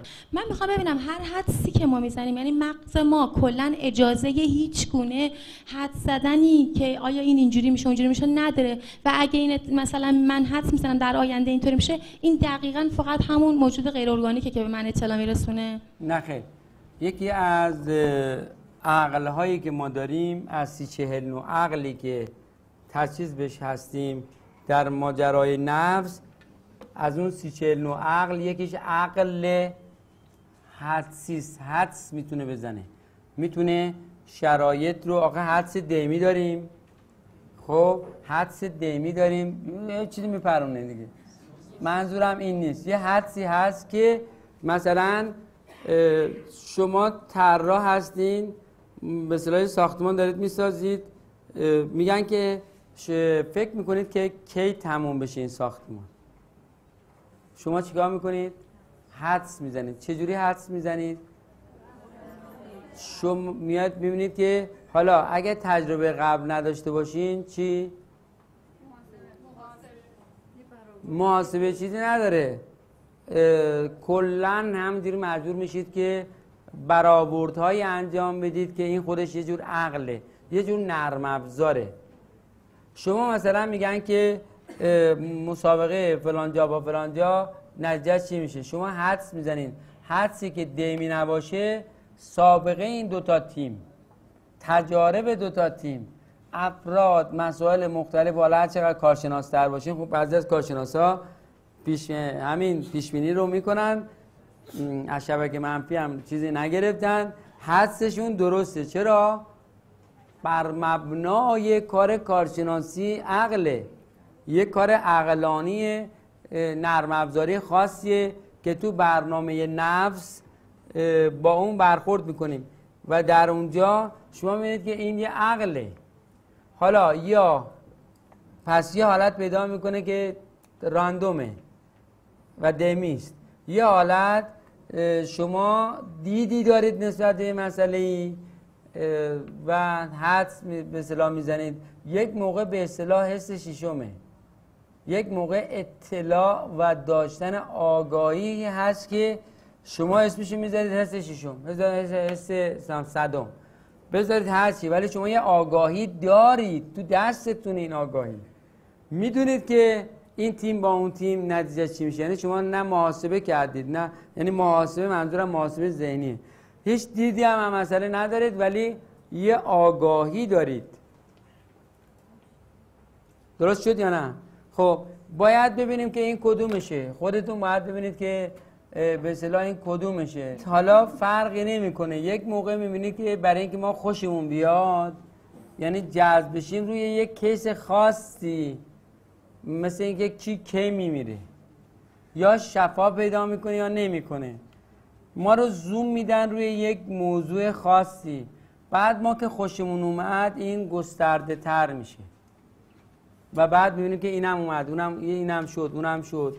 خب موضوع سر اینجاست که ما قبول بکنیم که این یه آگاهیه. آگاهیش از کجا میاد؟ اینو بایستی در واقع در انتها بهش برسیم. بحث دعا ادعونی. خب این ادعونی توی اون بحث های خودمون هم گفتیم که پشتش باید اشتیاق باشه. قانونشو قانونشو اگه خاطرتون باشه توضیح دادیم که اینجا یک مقاومت آر رو به اصطلاح داره. بنابراین این موضوع این که از دل برمیاد. خب از دل برمیاد. زبونی اشتیاق پشتشه یا مستر شدن پشتشه. این قوانین خاص خودشو به اصطلاح داره. خب خیلیا بودن که دوست داشتن اون زنده بمونه. به دوست داشتن زنده بمونن نیست. همه دوست دارن زنده بمونن. اما در همون شرایط نمی‌تونن مستر بشن. در همون شرایط نمی‌تونن اون اشتیاقی رو که میگیم داشته باشن. دوست دارن زنده بمونن ولی نمی‌دونن چطوری باید مشتاق بشن. چون راه نداره چون تکنیک نداره. اون مشتاق شدن ماحصل مانوروایی بوده که رو پله عشق میبایستی قبلا داشته باشه دستش بیاد ببینه که اصولا قانون ذوق چیه. حالا میگم چارچوب ذوق چیه چارچوب شوق چیه؟ مثلا دیدن مراسم مرگ یه شخصی رو. من یه دفعه چنین چیزی رو به من یعنی دیدم و فهمیدم حتی چه ساعتی فوت کرده. فوت کرد. خب ببینید من عرض کردم خدمتتون که این اطلاعات این اطلاعات اطلاعاتی است که شبکه م- من اینجوری بگم شبکه مثبت نمیده. حالا از هر جا گرفتیم از شبکه مثبت نگرفتیم. شبکه مثبت کارش این نیست به به من بگه که فلان کس کی مرده یا کی میمیره. کارش این نیست. به درد می به درد می‌دونه. به کارش اینه که به من دو کلمه به من شما به ما دو کلمه بده که این به درد کمالمون بخوره. این کارشه. این وظیفش اینه. نه اینی که نمی‌دونم بعضا تیم کجا می‌بره یا نمی‌دونم چه کسی کی میمیره میمیره یا نمیمیره. و بالاخره میمیره. خب. بعد مثلا شبکه منفی اطلاعاتی رو بده راجع به مرگ و زندگی کسی. بعد بگه اینو به مردم عنوان نکن فقط خودت بدون. ببینید اون چی رو که اون چی رو که میگه فقط برای خودت؟ یعنی میگن اجازه نداری به کسی بگی ولی دقیقا اتفاق میفته. اونه که میگم فقط برای خودت این به احتمال 99 ممیز 99 درصد شبکه منفی. چون می‌دونن اگر بگی دیر یا زود متوجه میشی یا متوجه می‌کنند که این مال شبکه مثبت نیست. یعنی شبکه مثبت احتکار نداره. آگاهی شبکه مثبت اعتکار شدنی نیست مگر زمان نداشته باشه. مثل مثلا فرض کنید الان یکی از در بیاد بگه که من ارتباط دوره نمی‌دونم هشت رو می‌خوام بگیرم. میگیم که نمیشه. حالا اون میگه که احتکار کردیم میگیم ما با نکردیم. باید این مراتب مراحل طی بشه. به نفع خودته. وگرنه به هم میریزی اینجوری میشی اونجوری میشی. خب؟ این ولی اصلا به طور کلی احتکار در شبکه مثبت اینو نگو اونو فلان نشه اینجوری اینجوری نداریم نیست. اطلاعات آگاهی اه، مال عامه برای ببخشید استاد من دختری رو میشناختم 13 سالش بود. این یعنی می‌دونست مردم کی میمیرن که عمرشون تموم میشه یا اینکه به چراغ نگاه می‌کرد به هر تو خونه خودشون نگاه می‌کرد این لامپه میسوزید همه موجودات غیر ارگانیک. تششد بای اگر می‌دادین اون لامپا نمیسوخت. بعد ایشون هم حالا منظورشون هم اذیت نمی‌شد چون با مق... با مقوله خوبی برخورد نکرده. شما حسابشو بکنید که ما قرار بود هر کی رو ببینیم ببینیم کی میمیره. می‌دونی چقدر وحشتناک بود؟ خب این چیز جالبی نیست. ولی ممکنه چون دور طرف رو می‌گیرن که خب بگو بگو بگو اون کی میمیره. منو نگیا اونو بگو. این خوشش بیاد و خب به عنوان قدرت تلقی میشه انسان ازش خوشش بیاد. خب بریم سر یک بحثی روی بهشت نقد. ببینید به یه اشعاری از عرفامون برخورد می‌کنیم. به عنوان مثال میگه من که امروزم بهشت نقد حاصل می‌شود وعده فردای زاهد را چرا باور کنم؟ یا این نقد بگیر و دست از آن نسیه بدار کاواز دول شنیدن از دور خوش است. یا اینجا زمه لل اینجا زمه لل بهشتی میساز. کانجا که بهشت است رسی یا نرسی؟ می لل چیه؟ آگاهی. خب اینجا از آگاهی یه بهشتی می‌تونی درست بکنی. حالا بریم ببینیم که منظور از بهشت نقد چیه؟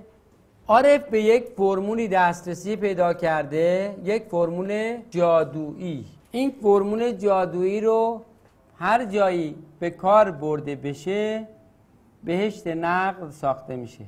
اولا دنیا رو تعریف بکنیم. محل پیوند واقعیت و حقیقت. به دو دلیل بهشت نقد اینجا داریم. یک دلیلش اینه که تنها جایی که واقعیتش و حقیقتش اینه و دیگه تکرار نمیشه. تنها جایی که واقعیت و حقیقتش همینه اینه. تکرار نمیشه. تو زندگی بعد واقعیت و حقیقتش اصلا یه چیز دیگه است. زندگی قبلمون هم واقعیت و حقیقتش اصلا یه چیز دیگه بوده.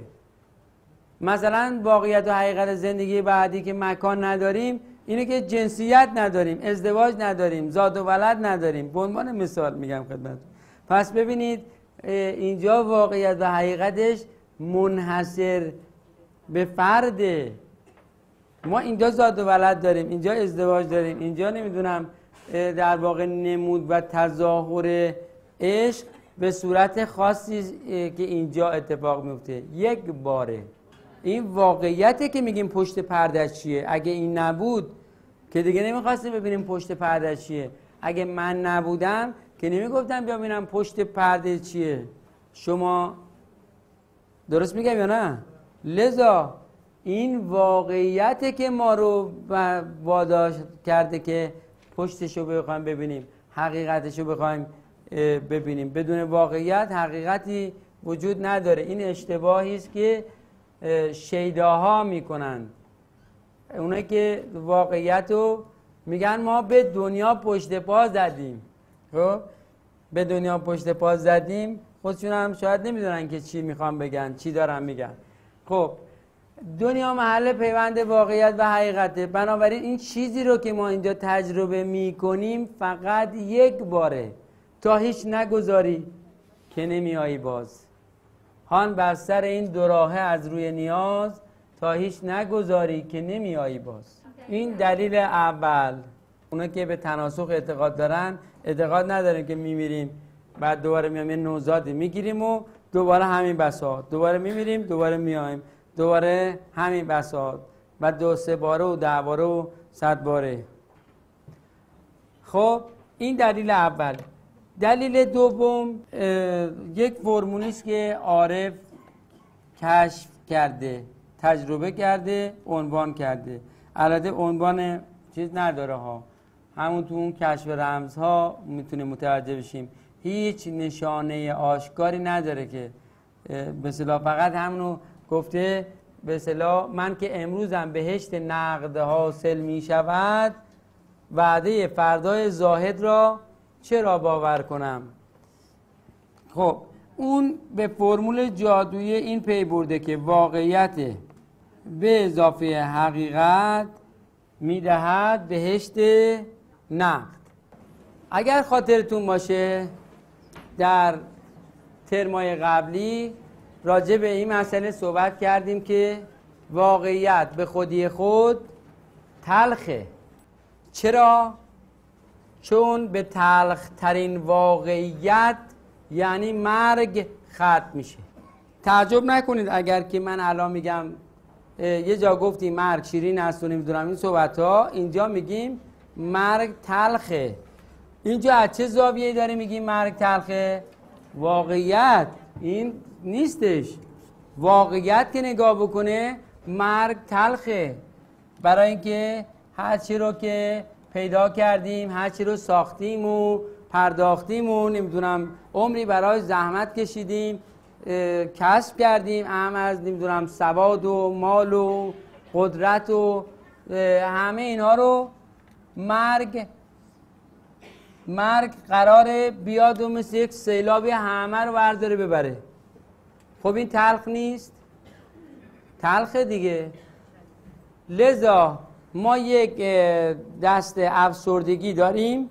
افسردگی مخصوص سالمندانه و ریشش تفکر راجع به واقعیته. یعنی واقعیت صرف رو نگاه می‌کنیم اینه که این ماحصل عمر همه چیز داره برباد میره و هیچ چیز باقی نمیمونه. درصد قابل توجهی از سالمندان در تمام دنیا درگیر این نوع افسردگی میشن. خب اما بحث دنیای وارونه غیر وارونه واقعیت در دنیای وارونه می‌گفتن شیرینه اما در دنیای حقیقی خودش واقعیت تلخه برای اینی که همه چیز رو میاد و خاتمه میده. اما در همون جا دیدیم که هر جایی که حقیقت میاد ماجرا عوض میشه. در دنیای وارونه می‌گفتن حقیقت تلخه. اینو تو ناخودآگاهی ما چیکار کردن؟ وارد کردن و ما بعد از اون ناخودآگاه اسم واقع به اصطلاح حقیقت میاد فرار می‌کنیم. ناخودآگاه از پشت پرده گریزان هستیم. یک سری از ترس های ما به خاطر فرار از حقیقته حالا در هر بودش باشه. ترس از موجودات غیر ارگانیک ترس از وارد شدن به سری مسائل همه اینا به خاطر اینی که در ناخودآگاهی ما فرو کردند که حقیقت تلخه. اما زمانی که حقیقت میاد مداخله می‌کنه حقیقت میاد مداخله می‌کنه فورا متوجه میشیم که اون واقعیتی رو که ما می‌گفتیم تلخه و تلخترین واقعیت اتفاقا اینطوری نیست و میاد به ما میگه اصلا مرگی وجود نداره. یعنی در دنیای عرفان یک بخش عمدهش می‌خواد این مسئله رو در واقع عنوان بکنه. بحث جاودانگی. بحث جاودانگی این ناظر اینی که الان داره صحبت می‌کنه این نه این جسما این که تابع قانون خستگی و آنتروپی و قانون تولد و مرگ و تابع اون قانونه. اما اونی که پشت این چهره داره صحبت می‌کنه اون جاودانه است و اون از بین نمیره. از اینجا به اونجا از اونجا به اونجا از اونجا به اونجا از اونجا به اونجا. انتقال پیدا می‌کنه. و اصولا یکی از مهمترین مباحث دنیای کیفیت یا دنیای عرفان همون بحث رسیدن به ماجرای وقوف به بحث جاودانگیه تا اصولا موضوع مرگ و معنای مرگ همونطور که در ترم دو با صحبت کردیم بیشتر ملموس بشه. بیشتر به ادراکش نائل بشیم خب وقتی که حقیقت میاد میگه که اصلا مرگی نیست. گر بنگری آنچنان که رأی است این مرگ نه مرگ نقل جای است.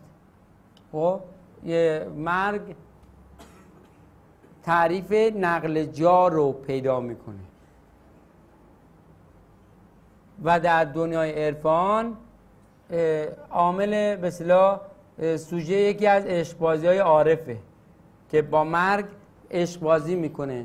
خورم آن روز که از این منزل ویران بروم و به اصطلاح همش دنبال یه جور عشقبازیه که کی میرم و به اون به اصطلاح دیدار یار نائل میشم و هر چه زودتر و خلاصه دنبال یه همچون قضیه است پس اگر حقیقت نیاد تو کار ماجرا اینطوریه اگر حقیقت بیاد یه دفعه یک واقعیت تلخ شیرین میشه درسته؟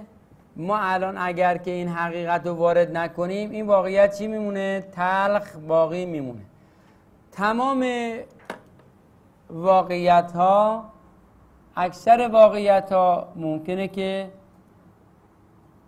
برای ما انتهاش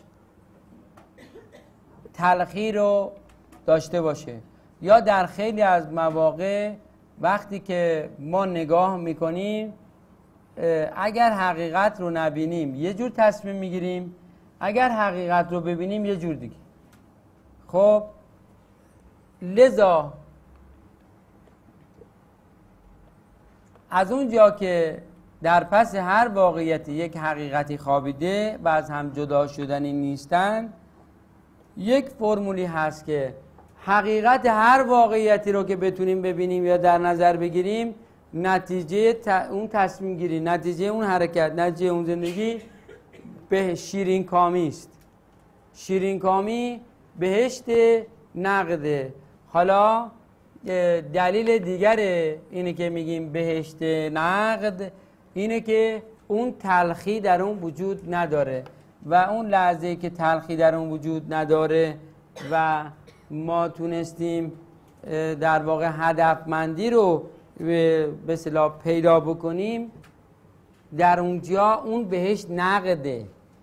خب این نقد بگیر و دست از اون نسیه بدار. این نقد رو اگر از دست بدی ممکنه اون, اون, اون یکی هم از دست بدی. اگه اینو داشته باشی احتمال داره اونم داشته باشی. حالا ارتباطش به همدیگه چیه؟ ارتباط داره یا نداره؟ خب اینجا زمه لل بهشتی میساد اینجا با این آگاهیات می‌تونی یه بهشتی درست کنی که اونجایی که بهشت واقعیه ممکنه برسی ممکنه نرسی. چرا ممکنه نرسی؟ چون اگه اینو استفاده نکنی اونجا هم اونجا هم اون توانایی لازم برای اون طراحی جنت رو یا اون جنات رو نخواهیم داشت. بنابراین اینجا دوباره اون تیزهوشی یا رندی دنیای عرفان به کمک عارف میاد و در واقع فرمولی رو تو این رابطه پیدا می‌کنه که این فرمول می‌تونه بهش کاملا کمک بکنه. یک مثال به یک مثال بزنم براتون تو این تلفیق واقعیت و حقیقت. شما فرض کنید که یک پسری که در شهرستان به اصطلاح اومده تهران درسش رو تا مرحله فوق لیسانس خونده و در همون شهرستان می‌خواد با دختری از فامیل ازدواج کنه. منتها این پسر وضعیت خانوادگی درب و داغونی داره. پدرش زیاد خوشنام نیست و خلاصه وضعیت خانوادگی درب و داغونی داره. خب فکر می‌کنید جواب این خواستگاری چیه؟ یعنی هر کس میشنوه میگه چی؟ میگه نه. خب حالا اونها چه چیزی رو دیدن؟ صرفا واقعیتی رو دیدن. چون بله و هر کس بگه که اینجوریه صرفا روی واقعیت بلا استثناء. یعنی همه بلا استثناء میگن که نه. حالا در یک اینجور مشاوره قرار می‌گیرن ما بهشون میگیم که خب شما فقط واقعیت رو دیدین. حقیقتش هم دیدید. اونا میگن که حقیقت چیه؟ خب بهشون میگیم که حقیقت اینه که از همچین خانواده این پسر از اونجا تونسته بیاد اینجا با وضع مالی خراب و اون اوضاع داغون و در داغون بیاد و تا این مرحله رو پای خودش وایسه بعد بیاد اونجا شاغل باشه و این. شما چطور اینو ندیدی؟ خب یه استدلال ساده تو تلفیق حقیقت و واقعیت فکر می‌کنی نتیجه چی میشه؟ خب حالا نتیجه صد درصد عوض میشه.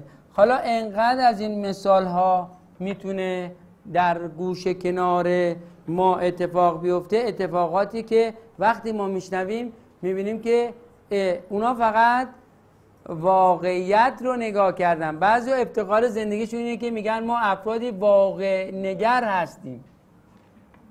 خب؟ میگن که ما آدمای واقع نگری هستیم. خب حالا فکر می‌کنید که اونا چند تا اشتباه تا حالا کرده باشن؟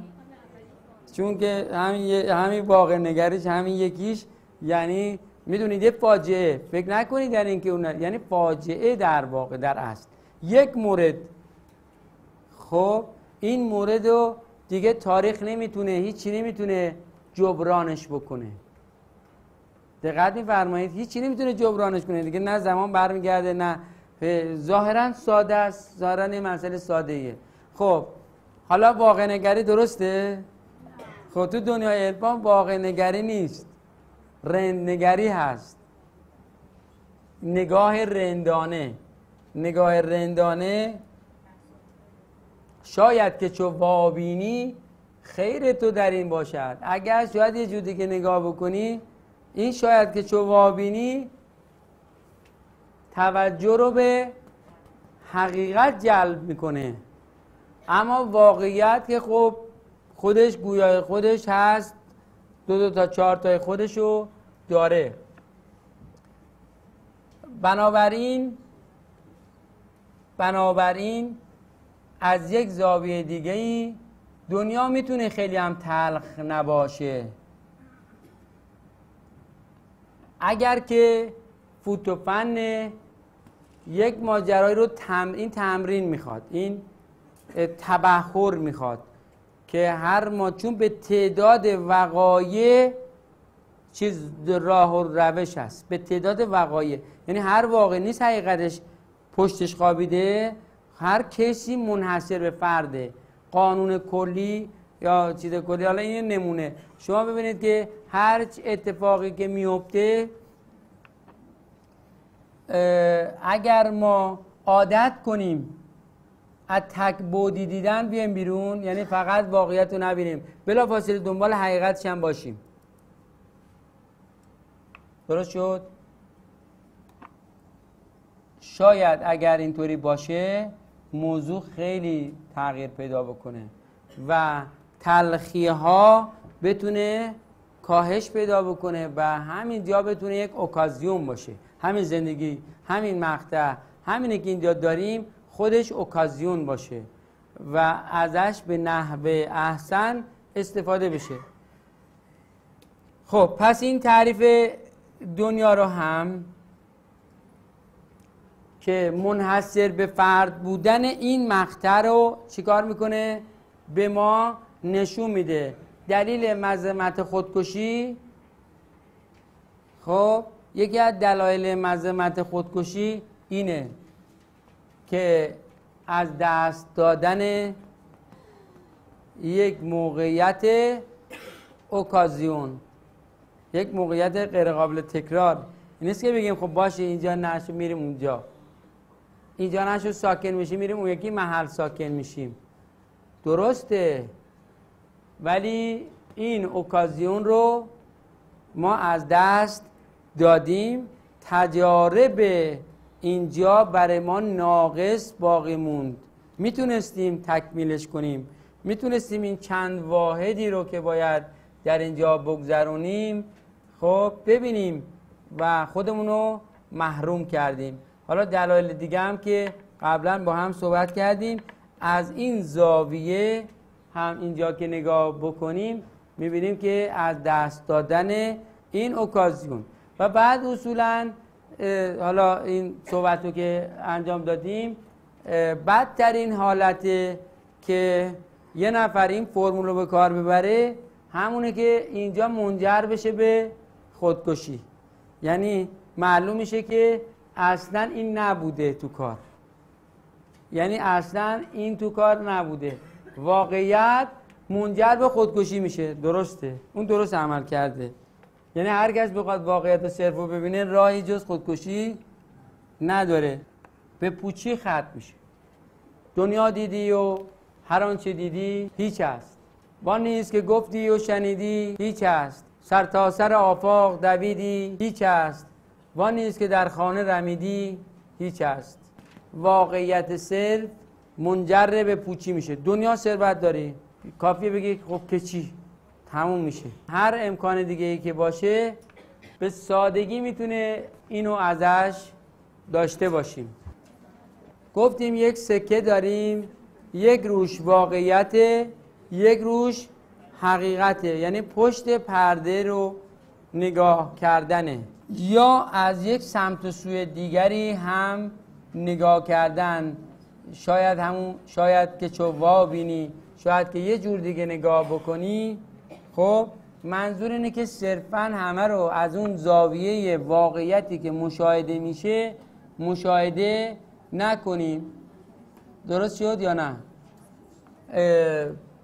و وقتی از زوایای دیگه نگاه می‌کنیم مسائل دیگه ای برامون روشن میشه. دیدن حقیقت نه یعنی که یعنی خوبی ها رو بیان ببینیم. بحث اصلا اینجا خوبی نیست. بحث اینه که اون روی سکه رو هم ما بتونیم به اصطلاح نگاه بکنیم. و چیزهای دیگه ای رو هم غیر از اون واقعیتی که به چشم میاد نظاره بکنیم. در این اقیانوس پرتلاتومی که قرار واقعیت و حقیقت بر همدیگه چیکار کنن؟ سوار بشن و خلاصه از این ماجرا ما از اون زورق سرم پذیره بتونیم تو اون کشتی اقیانوس پیما خودمون انتقال بدیم. اگه انتقال ندیم زورقه بالاخره در این اقیانوس تیکه پاره میشه. کار جهان الان خودمون گفتیم که هیچ در هیچ است. در اینجا اشاره بر چه چیزی می‌کنه؟ اشاره می‌کنه میگه که آره این بحثش در واقع ببینید اینجا موضوع کلیش پوچگرایی نیست و موضوع کلی که میگه جهان اگر اینطوره چرا جای دیگه توصیه های دیگه داره؟ عاشق شوهر نه روزی کار جهان سرایت خب در, در واقع بحث جهان کار جهان سرایت منظوره که دنیا سر میاد. اینجا منظورش این نیست که کل ماجرا هیچ در هیچ است اینجا عاشق شوهر روزی کار جهان سرایت. ناخوانده نقش مقصود از کارگاه هستی.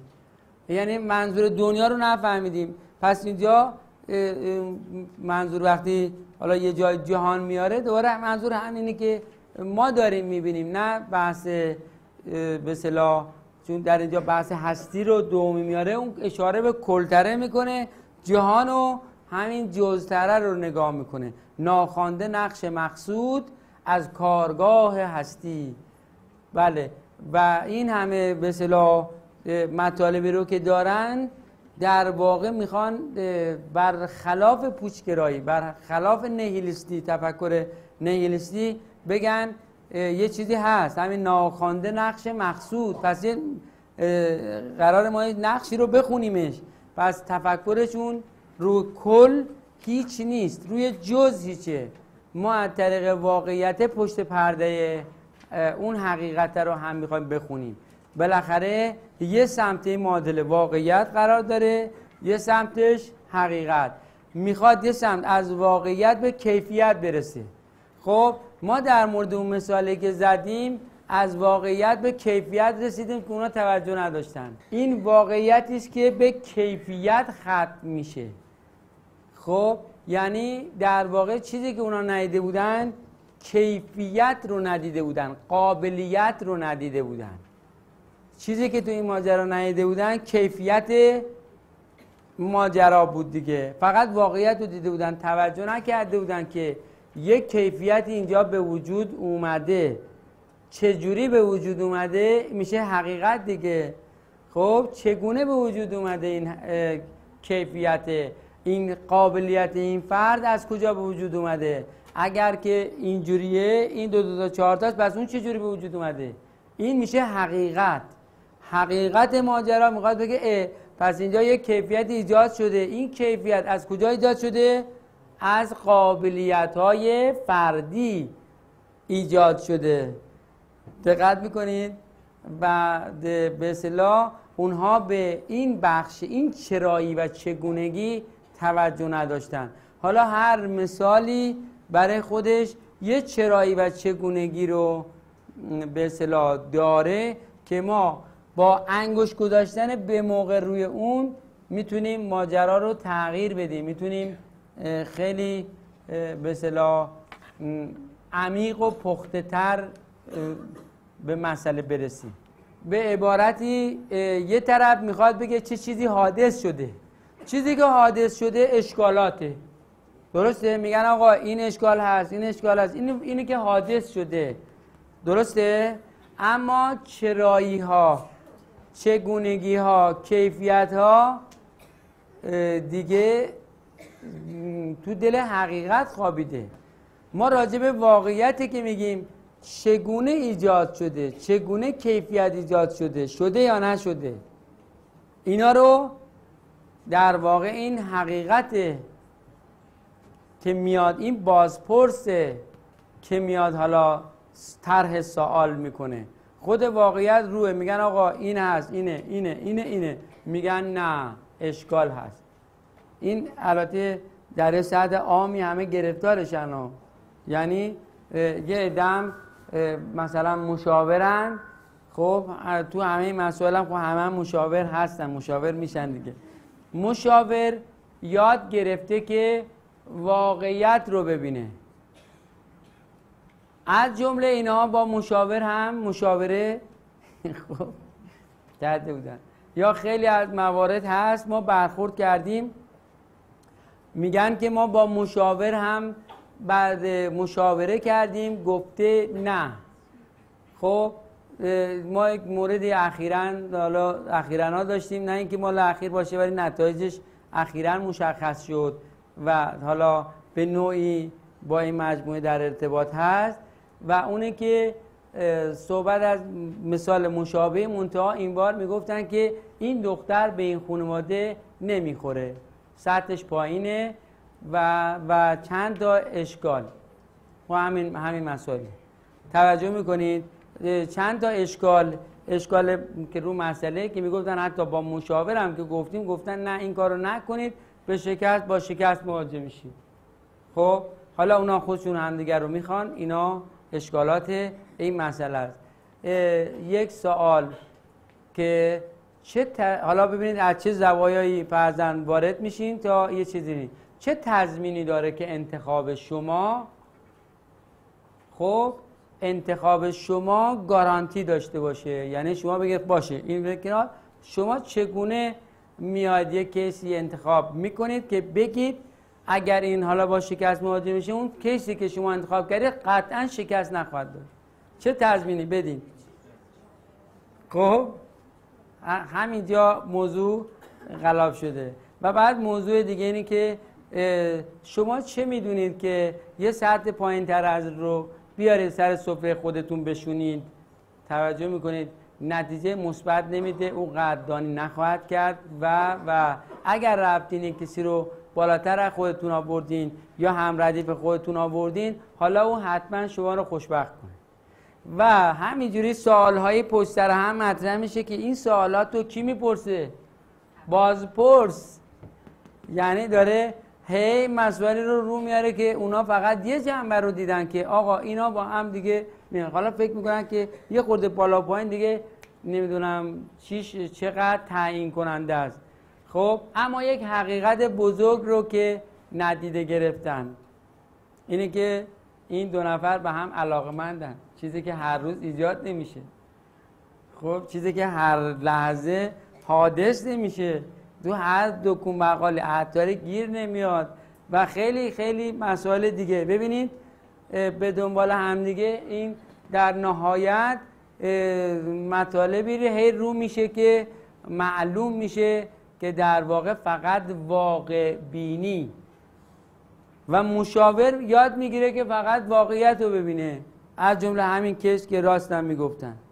خب فقط واقعیت رو مثلا نگاه می‌کنه. مشاور یک حرفه بسیار بسیار تخصصی است و رندانه است و باید مشاور حتما یاد گرفته باشه چجوری واقعیت رو با حقیقت تلفیق بده. در غیر این صورت در حق دیگران مشاورت ظلم به حساب میاد. این دو نفر بدون به همکاری اون عده اصلا نمی‌تونن زندگی بکنن. یعنی به شیش ماه نمی‌رسه که بله متلاشیشون می‌کنن. و اگر متقاعد نشده باشن این کارو می‌کنن. یعنی باید متقاعد شده بشن. و خب حالا طی یه مدت طولانی هم این مسئله طول کشید. و هی چندین جلسه اون وقت این متقاعد شدن اتفاق افتاد و سرانجام تسلیم شدن. نه با زور نه با اینکه چیز برای اینکه پاسخ نداشتن بدن. از جمله اینکه منو که حکم کردن گفتم که شما تضمینتون چیه؟ توجه می‌کنید؟ بسیار خوب. ایشون این کار می‌کنن شما تضمینتون رو تضمینتون چیه؟ شما چه تضمینی دارید که این مسئله الان منتفی بشه؟ کسی که شما مد نظرتونه اون دیگه گارانتی باشه. میشه هم چیزی؟ نه. در مجموع چند تا سوال؟ پاسخ هیچ کدوم از این سوالا حتی یکیش هم داده نشد. بنابراین لزوم این مسئله در اینه که حالا در یه جای مثل مملکت ما ما زندگی جمعی داریم در واقع اون خانواده این خانواده تعیین تعیین تکلیف می‌کنن که اینا زندگی بکنن یا نکنن. مشکل اینجاست. در واقع اگه جای دیگه باشه خب میرن با هم ازدواج می‌کنن. لزومی به به اصطلاح مجوزهای لازمه از نمی‌دونم خانواده ها رو ندارن. درسته یا نه؟ برای اینه که همکاری بکنن برای اینکه چوب لای چرخ ندارن خب چون چوب لای چرخ می‌ذارن که برای سه چهار ماه سقوط انجام میشه بعد بگن دیده گفتیم خب این این مسائل هست. حالا روی همه غذایا در واقع این موضوع هست. ولی به هر صورت اگر قرار باشه که مشاوره بدیم یا حالا به طور کلی مطلب خاطرمون باشه چون هر کسی ممکنه مورد مشاوره افراد مختلفی قرار بگیره. باید بدونیم اگر نمی‌تونیم دوتا رو با هم نگاه بکنیم خودمون رو کنار بکشیم. خب اگر می‌تونیم بلافاصله دوتا رو با هم ببینیم اون چیزی رو که اونا می‌بینن که خب ما می‌بینیم همه می‌بینن. ولی اون چیز اینجا رو اگر می‌تونیم کشفش بکنیم مداخله کنیم. اگر نمی‌تونیم کشف بکنیم و روشمان رو بدیم بهتره مداخله نکنیم و مشاور رو ما به کسی میگیم که تفکر رندانه داشته باشه.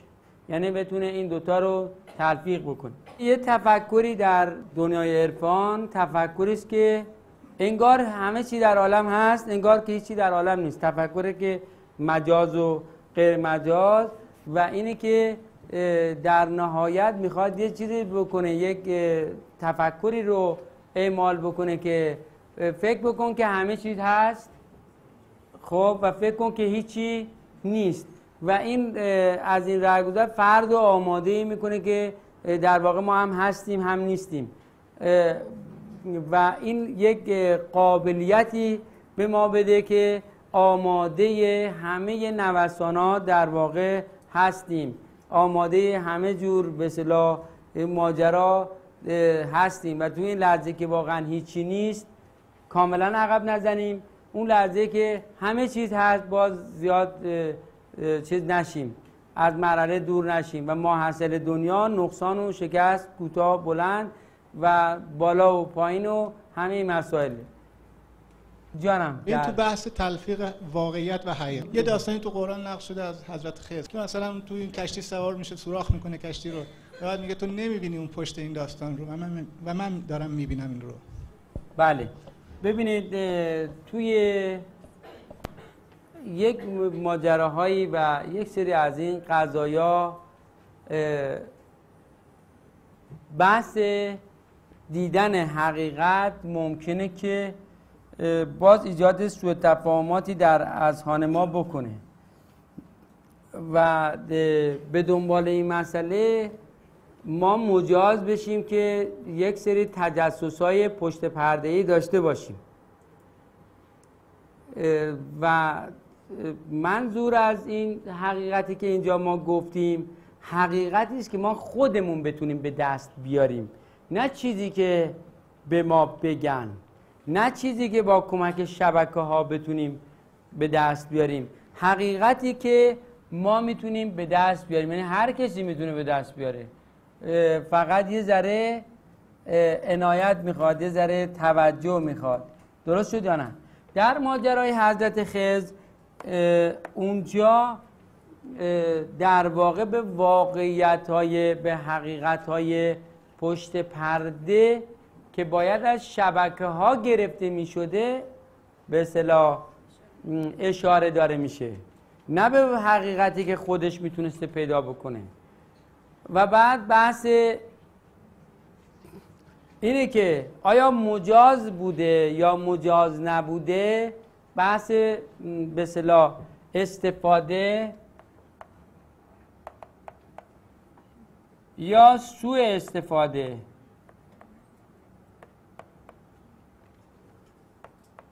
از توانایی ها قابلیت ها از اتصال ها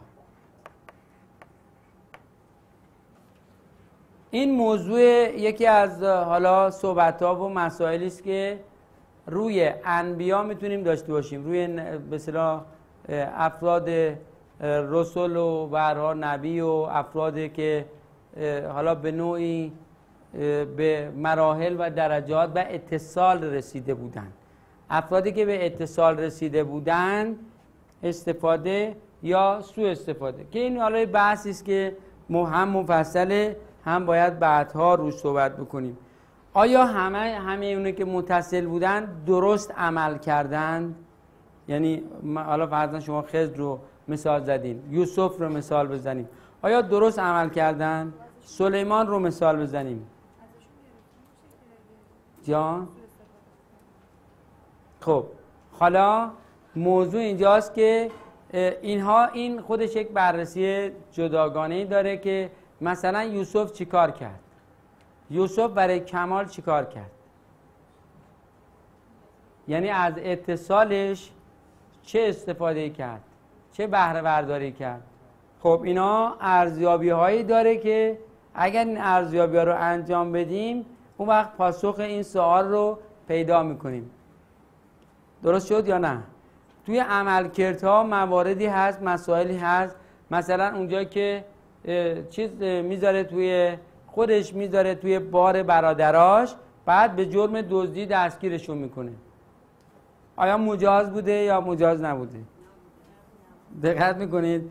در پیشگویی آیا مجاز بوده یا اتصال داشته می‌تونسته؟ الان شماها می‌تونید یک سری مانورهای رو داشته باشین. همه هر بله.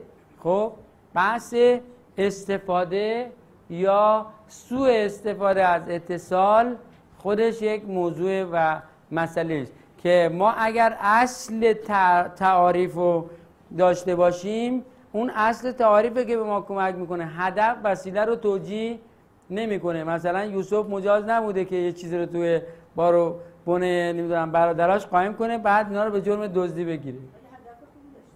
بعد حضرت یعقوب مجاز بوده اینقدر گریه بکنه. خب؟ خب و بعد ببینید که ب... نمی‌شده؟ ببینید این ماجرا این ماجراها داستانهایی است که همش برای ما درسه.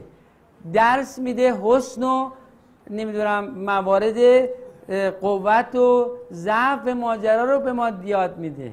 ما فقط فکر می‌کنیم که این آره این اتصاله یعنی چی؟ دیگه یعنی همه چی تمومه همه چی درسته. هر کدوم از این کی- کیس ها ابعاد مثبت وجودی ما و منفی وجودی ما رو به نوعی گزارش میده. شما هر کاری بکنید نمی‌تونید مسئله اون قضیه یوسف رو توجیه کنید. مسئله خواب و مسئله و بعد در انتها.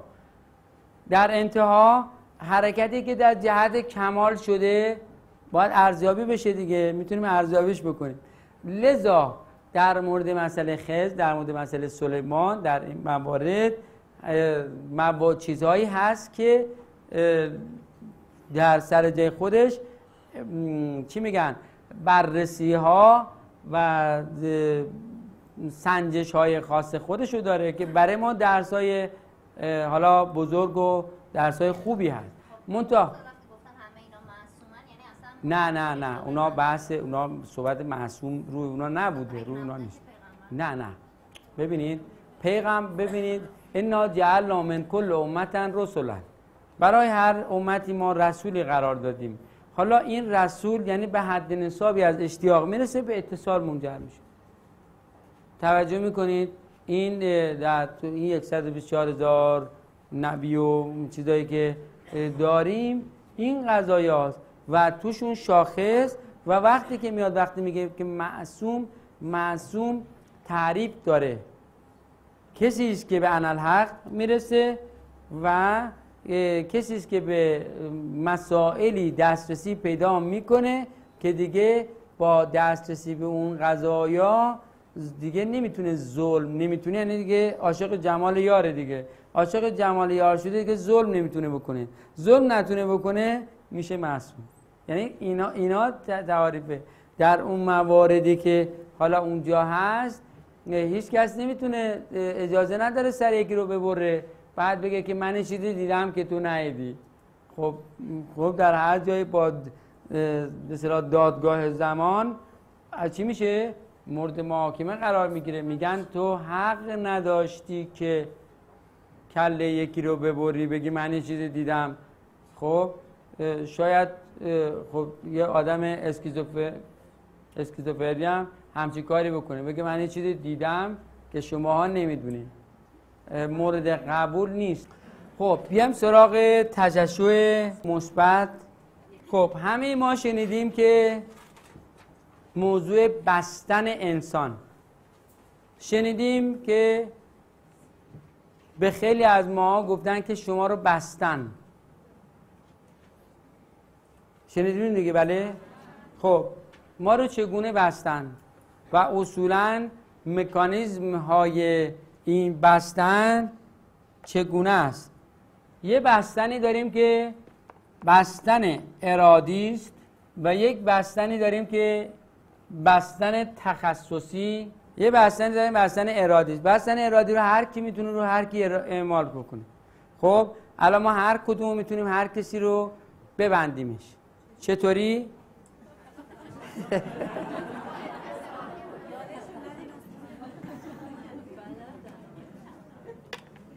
بله. خدا به داد خواهر شوهرها و اینا برسه امشب که خب. شما می‌دونید که ما ارادمون ارادمون خودش کار انجام میده. این اراده می‌تونه مثبت می‌تونه منفی خب باشه. و حالا پشتش هم یه ماجرای خوابیده که در ترم یک یه جای رو نشون دادیم اشتیاق. این اشتیاق پشت این خوابیده. اگر که ایشون می‌خواد کاری انجام بده و من نخوام می‌دونید؟ پشتش ایشون می‌خواد کاری انجام بده فرض کنید می‌خواد بیاد اینو از اینجا برداره. و منم اینجا واسدم. من وقتی که ارادم بر اینه که نک ور نداره حالا یا نکنه ورداره یا به هر شکلش وقتی که من ارادم روی این موضوع معطوفه که ایشون این کار رو انجام نده دستش به نرسه نتونه اینا در واقع از من به سمت ایشون چیه؟ یک موجی داره میاد. حالا من میگم موج یعنی شما یک کمند نامرئیه. ایشونو میبنده. و بعد از اینه که من این اعمال اراده رو می‌کنم ایشون که داشت می‌رفت می‌بینه که سنگین تر شد.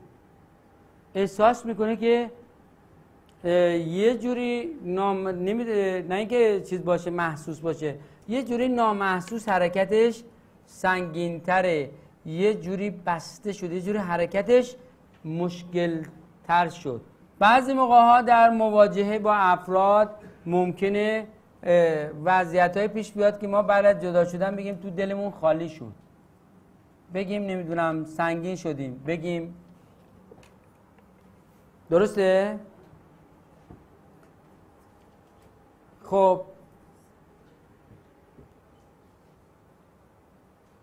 خیلی از مسائل ما بستگی ها و گرفتگی های ما گرفتگی هایی است که ما خودمون رو خودمون پیاده کردیم. و پایه این بستن تنگ نظری ها و خب بخلا و این دو چیزاست. و هر چقدر سطح جامعه پایین تر و افراد با هم در چشم و هم چشمی و تنگ نظری ها و مسائل خاصی باشه اون بستگی ها هم بیشتره. لذا کارها از حالت عادی خودش خب یک کار عادی مربوط به فرد چی میشه؟ پیچیده میشه. میشه یک کار پیچیده. یعنی در واقع یک به صلاح فرد اینجا در معرض در معرض یه قضیه که قرار می‌گیره همه چیز تحت شعا قرار می‌گیره. حتی ممکنه فکرش خوب کار نکنه. حتی ندونه که یه کار ساده ها. هر کی می‌بینه از دور می‌بینه که این کار اینقدر ساده است ولی اصلا خودش نمی‌تونه انجامش بده. می‌دونید؟ یعنی چیز یک کار دو دو تا چهارتایی رو از دست به صلاح میده. و لذا یک مسائلی که به خودی خود چیزی نیست اصطلاحا میگن به خنسی می‌خوره. به خنسی خورده. به خنسی خورده یعنی چی؟ آیا ما اشتباه می‌کنیم؟ به خنسی خوردن نداریم؟ داریم. و شما یه دفعه می‌بینید که توی یه کاری خب در یک کاری که کار ساده در واقع یک تلاطمی افتاده. قدیم می‌گفتن نفوس بد نزنید. تو کارها نفوس بد نزنید. نه نیارید. سر راه مسافر نه نگید. نمی‌دونم. یه اینجور ماجراهایی. خب حالا چی می‌خواسته بشه؟ چرا گفتن که نفوس بد نزنید؟ خب بله. این نفوس نفوس بده در واقع ما یک کمندی میندازیم. خب کار پیچیده کار میپیچه. خب اینا ظاهرا ممکنه ظاهرش خب خیلی عادی نباشه ولی هممون تجربه کردیم هممون تجربه داریم. تاریخ هم همه چیزا رو در واقع گواهی میده. و اون چیزی که جز تجربه عامه اشتباه نمیشه اشتباه نیست.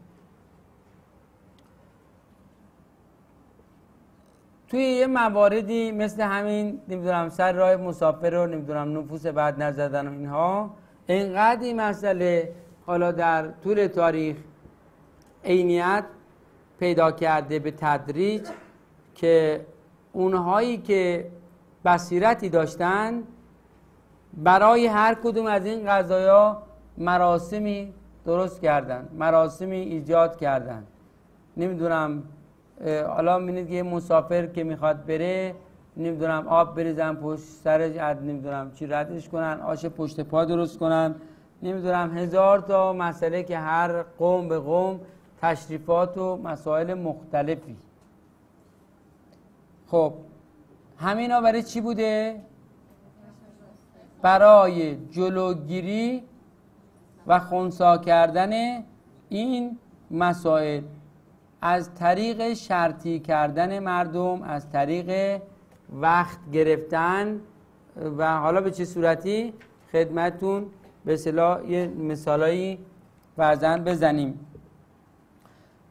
خب وقتی که یک مسافر رو با تشریفاتی که داریم رد می‌کنیم افرادی که اونجا حاضرن در ناخداگاهیشون این نشسته که این تشریفات انجام بشه دیگه ایشون کارش تم رو به راست دیگه. دیگه تضمین میشه لذا جلوی تشریفات منفیشون گرفته میشه. اما اگر اعتقادی نداشته باشن خب یعنی این در ناخداگاهشون کار گذاشته نشده باشه فایده ای نداره. خب حالا مسافره میره. مسافره میره دوباره پشت سرش می‌دونن که میشینن نزدیکان. هی میگن وای الان کجاست؟ الان چی شد؟ الان کجاست؟ خب حالا قدیم که دیگه با یه اسبی و قاطری راه میافتادن و مشکلات راه و همین چیزام به صلاح بوده. به و اینا می نشستن و هی می‌زدن و دستشون رو نمی‌دونم به هر صورت یا الان هم حالا تا مسافر به مقصد برسه هواپیما فرود بیاد و نمی‌دونم همین یا به اون وسیله نقلیه برسه همش اگه بیکار باشن هی میشینن می‌زنن و دست خودشونو هی چیکار می‌کنن و وای رسید وای نرسید و همش دارن چیکار می‌کنن؟ تجشع منفی صادر می‌کنن و ساطع می‌کنن. لذا باید سر این جمعیت به چیزی گرم شه. بنابراین مسئله آش پشت پا و آی نخود ببر و نخود بیار و لوبیا پاک کن و عدس چیکار کن و اینو اونجوریش کن و اونو پلان کن و بیسار کن و خلاصه سر همه رو چیکار می‌کنن؟ گرم می‌کنن تا اینا فرصت پیدا نکنن. تششع منفی ساطع بکنن. حالا بعد آشا آماده شده خب حالا آشا رو ببریم بعد آشا رو بردیم حالا کاسه ها رو بگیریم کاسه ها رو بگیریم حالا بشوریم و بعد دو تا اثره که اون که وقت و این وسط چیکار کردیم؟ مسئله رو شامل مرور زمان کردیم. یکی هم بعدم میگیم که خب دیگه آش پشت پا پختیم دیگه. یعنی دیگه تمومه دیگه آش, آش پشت پا بپزی. دیگه همه چی به خوبی و خوشی باید خاتمه پیدا بشه. لذا این جلوی این تفکر جلوی اون تششعات منفی رو چیکار می‌کنه؟ می‌گیره. حالا شما میاد ببینید که یه کارهایی هست که به خودی خود مثلا یه کار خیریه اصلا می‌بینید که این کار به هیچ بسته شده. یعنی هیچ کس نمی‌دونه چه اشکالی تو کاره ها از هر کی می‌پرسی میگه خب آخه چیه؟ خودش هم نه خودتون هم نمی‌دونن که چیه ولی کاره گره خورده و بسته شده. بنابراین توی این ماجرا ای با دلسوزی تحت عنوان نکنه. خب نکنه نکنه نکنه این نکنهایی داره به پارس منفی میده. به جای نکنه پاشو تحقیق کن پاشو کاری کن پاشو فکری کن. خب نشستی تکون نمی‌خوره میگه نکنه اینجوری نکنه اونجوری نکنه اینجوری. هی بار منفی سواره برای این قضیه می‌کنی. یا تحت دلسوزی یا تحت دشمنی. این ماجرای تششعات منفی. دوستی دشمنی دوستی خالق و خب حالا دشمنی روی این مسئله داره تششع منفی سوار میشه.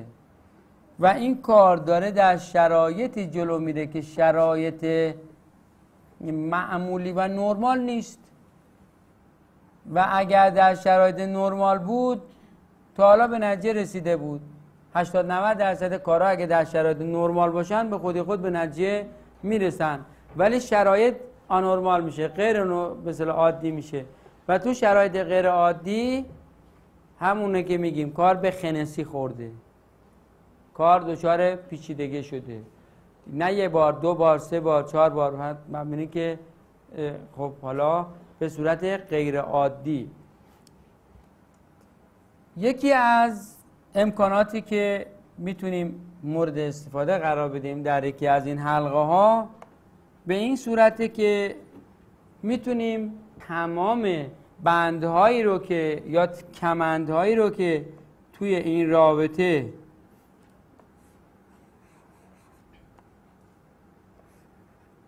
از سمت های مختلف اومده و ایجاد این بستگی رو کرده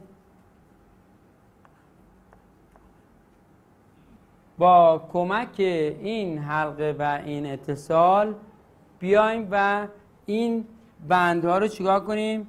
پاره کنیم. در این صورت چه اتفاقی میفته؟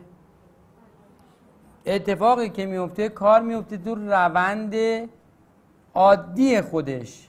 نه اینی که بی ادالتی بکنیم یه کاری که مثلا فرض کنید قرار نبوده بشه حالا بشه. نه صرفا روند عادلانه خودش رو فراهم می‌کنیم. در اون صورت متوجه میشیم درصد قابل توجهی از کارهایی که ظاهرا نشد بوده حالا میشه. بدونه که بیعدالتی صورت گرفته باشه بدون که به کسی ظلمی شده باشه حق کسی پایمال شده باشه. یا کارهای مشابهی که فرزن در بخش تلسم و جادو و اینا تحت عنوان گشایش کار گشایش بخت. نمی‌دونم. اینجور ماجراها صورت می‌گیره. بدون اینکه دخل و تصرفی تسخیر قلوب نمی‌دونم چی این حرفا صورت گرفته باشه تجربه بهمون نشون میده. حالا با هم تست می‌کنیم. ما 70 80 درصد کارا اصلا اگر رو روند طبیعی خودش بود اصلا انجام می‌شد. ولی الان اگر انجام نمیشه به چه علت انجام نمیشه؟ به علت اینه که ما همدیگر رو بستیم و روی این حساب کارامون بسیار به سختی جلو میره. ممکنه در یه شرایط عادی جواب یه کاری نه باشه ولی دیگه ما می‌دونیم که در اون صورت اعمال نفوذی توش نبوده. کسی نه نیاورده. یعنی اونو تحت تاثیر نه قرار بده. مثلا این کار خیریه. این میگه نه. یه جور میبندش. اون میگه نه. یه جور میبندش. یه جور یه جور یه جور یه جور یه جور. از صدها جا این کار بسته شده. خود اون افراد هم نه رو گفتن و حالا ظاهرا تاثیر کلامیشون رو به جا گذاشتن. اعمال نفوذ کلامی رو کردن ولی نمی‌دونن که این یه بار تششعاتی و اینا رو هم داره. ما سوار اون کردیم. تفکری وجود داره به نام استخاره. طلب خیر کردن. در همه مذاهب یک اصل لاینفک طلب خیر کردنه برای دیگران. جامعه ای که در اون طلب خیر مثلا روتین شده و همه توش هستن اون جامعه جامعه موفقیه.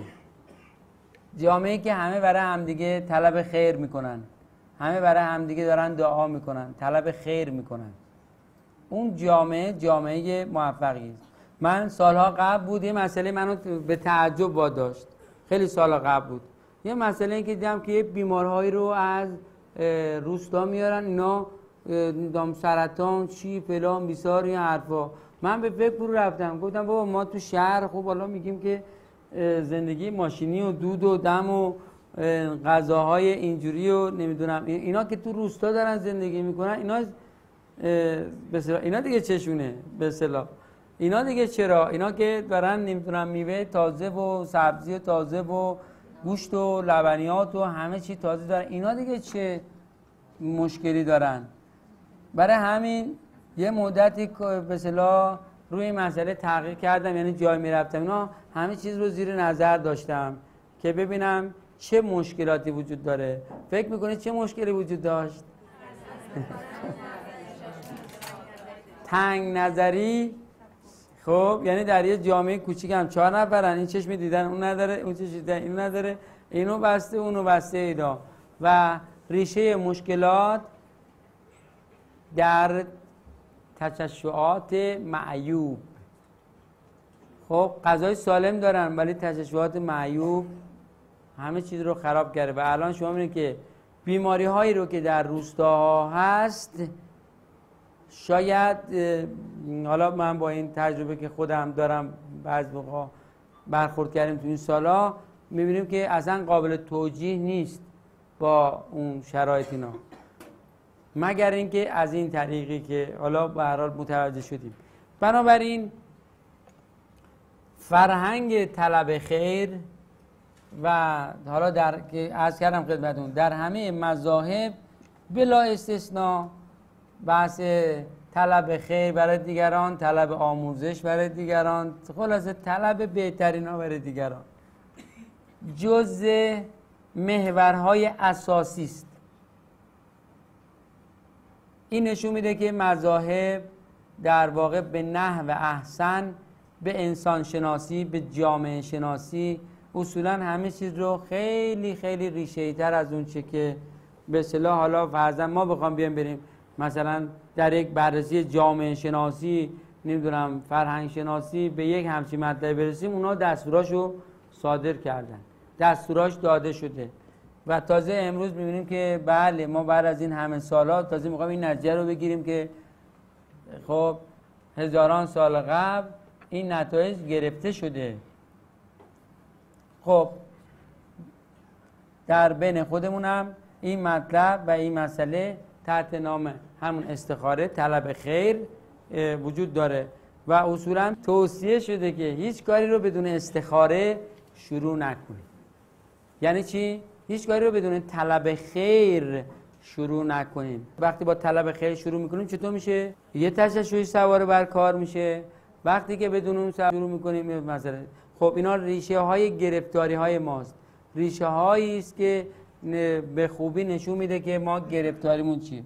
خب حالا به تدریج یک ماجرای دیگه تبدیل شده به ماجرای دیگه. یعنی طلب خیر کجا و مثلا یک چیز دیگه کجا که حالا اون باعث نقض تازه اختیار بشه تازه و خیلی چیزای دیگه. خب در این موردی که می‌خوایم صحبت بکنیم و به اصطلاح وارد حلقه بشیم ماجرای ماجرای طلب خیر خودش یک حلقه است و ماجراش خودش اینه که میاد و یک کاری رو وقتی ما طلب خیر برای کسی بکنیم این طلب خیر ما آیا اثر داره یا نداره؟ یعنی باید داشته باشه یا نباید داشته باشه؟ خب تو از آن آمینه که اینا فرمالیته است به اصطلاح. برای خالی نبودن عریضه است. خب خدا خیر داد خدا شما رو خیر بده. خب مثلا فرض برای خالی نبودن عریضه است. یعنی عرضه به تعدید در طول تاریخ هم روحش از بین رفته حالا یه تعارفاتی مونده. همون مثل به خدا میسپارمت. خدا نگهدار. خب اینا دیگه شده چیز دیگه. یعنی یعنی هیچ. یعنی در واقع معادل هیچه. ولی در اصل ما دیدیم که به خدا سپردن خودش قدرتمنده خودش یه ماجرای یه اسمی رو شما یه نظر بهش بکنید به خدا سپردین. اون نظر یعنی به خدا سپردن. حالا با کلام با نظر با هرچی در واقع هست وقتی بیایم به روحش برسیم به اتصالش می‌رسیم. این ورش خب بالا در حد کلام. بنابراین دو تا مطلبه. یا اینا شوخی و تعارفه یا نه جدیه. خب حالا تحقیق می‌کنیم. با هم تحقیق می‌کنیم ببینیم که آیا شوخیه یا نه. قابلیت اجرایی داره و انسان می‌تونسته از روز اول از استخاره استفاده بکنه طلب خیر بکنه. خب؟ حالا این طلب خیر ما می‌تونیم اسمشو بذاریم بین خودمون. اصطلاح تششع مثبت. حالا چون تششعات مثبت دیگه هم داریم اینو بذاریم یک. خب یه اونه که داریم نمی‌دونم چیه با هم صحبت کردیم دیگه جلسه قبل. اسم اونو گذاشتیم دو. اون برای مرده ها اینم برای زنده ها واقعیتش نه؟ خب برای مردم دوباره طلب آموزش داریم. اگه حالا توی زبان زبان آمیان زبان مذهب طلب آموزش داریم طلب رحمت داریم. طلب رحمت طلب رحمت پیام رحمت همونی بود که اونجا عملیش یه همچین کاری در واقع صورت می‌گیره صورت می‌گیره. ما اونو هدایتش می‌کنیم نه اینکه ما بکنیم.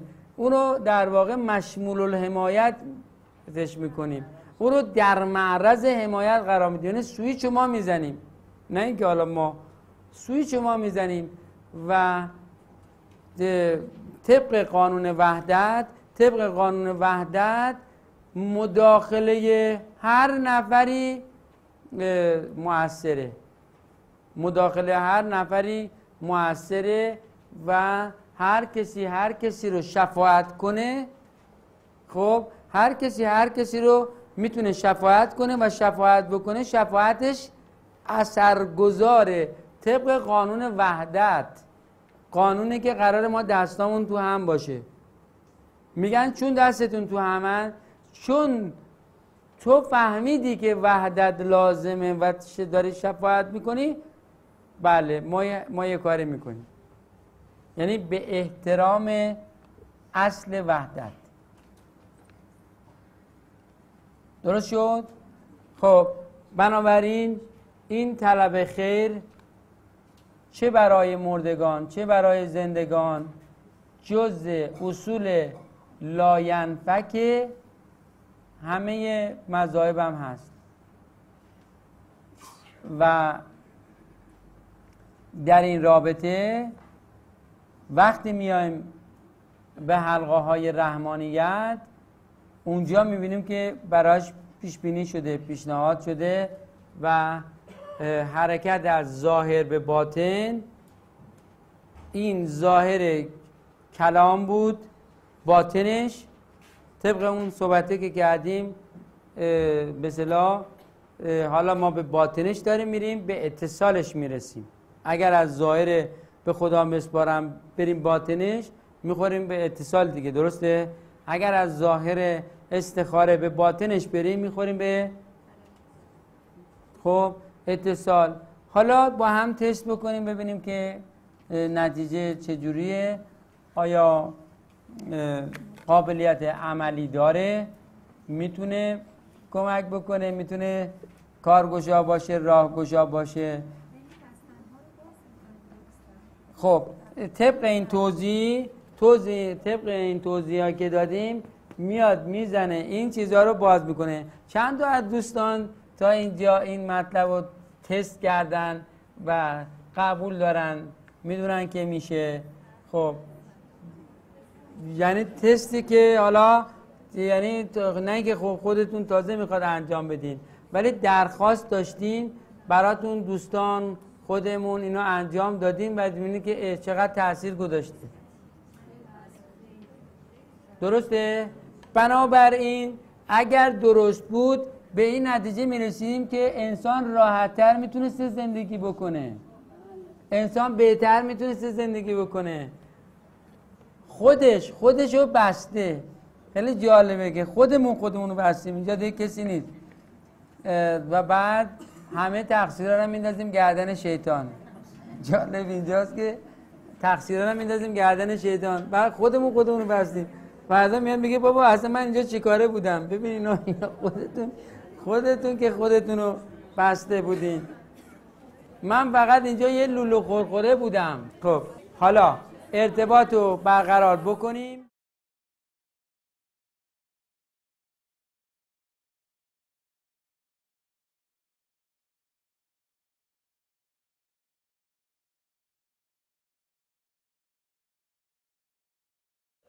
خیلی ممنون دوستان خیلی مشکر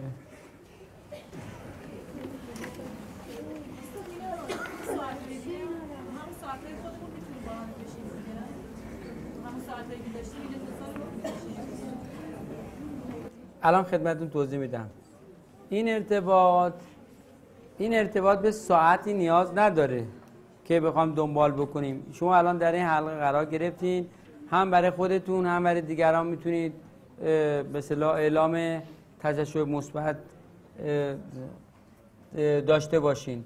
نیازی به این نداره که مثلا فرض ساعت راه دور و نزدیک نداره اجازه نمی‌خواد. خوب توجه بکنید کسب اجازه نمی‌خواد.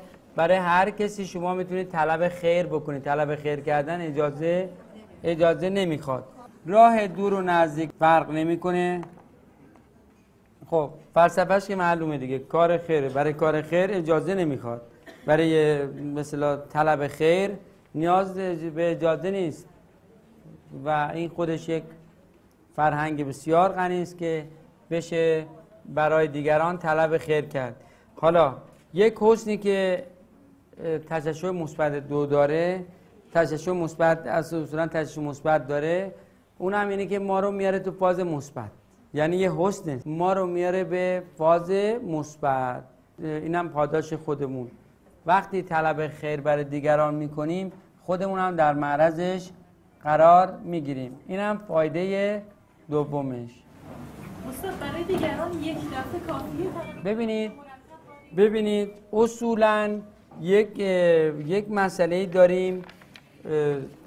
این قضیه تحت عنوان فرض کنیم بگیریم اصرار بگیریم نمی‌دونم پیگیر بودن پیگیری. خب شما یه بار میدین اب نداره. این در اون کار انجام میشه. مسئله در اون لحظه اون قطع شدگی اتفاق میفته پیش میاره ولی اصولا تجربه نشون میده که ما پیگیر باشیم بهتره. تضمین قضیه نمی‌دونم محسوس شدنش اینا. خب خیلی بهتر میشه ملموستر میشه. اگه بدونیم یک کسی یعنی من می‌دونم یک کسی برای خودخواهی خودش می‌خواد که من از این به بعد براش اعلام کنم. اشکالی نداره. اصلا دیگه ما انگیزه ببینید انگیزه طرف مقابل برای ما اهمیت نداره. شما طلب خیر می‌کنید. خب طلب خیر می‌کنید برای دیگران. حالا هر آدمی هست هر خودخواهی داره هر مطلبی. ببینید یک موضوعه که کسی برای کار شر خب اگر فکر بکنه که شما یه کاری داره کار شره ولی فکر می‌کنه که شما مثل جادوگرا در واقع اون فکر می‌کنه که شما الان و چیز می‌کنه اون کار شرش را میفته نه اینجوری نیست. حتی ممکنه اون کار شرش بدتر هم بشه که میشه. این تجربه رو معمولا داریم. خب یعنی می‌دونه که حق باش نیست یعنی می‌دونه که چیز نیست ولی حالا فکر می‌کنه که زرنگ بازیه میگه خب یک طلب خیری هم برام بکنن که من تشعشع مثبتم بدن من کارم پیش بره. خب این اینجوری نیست.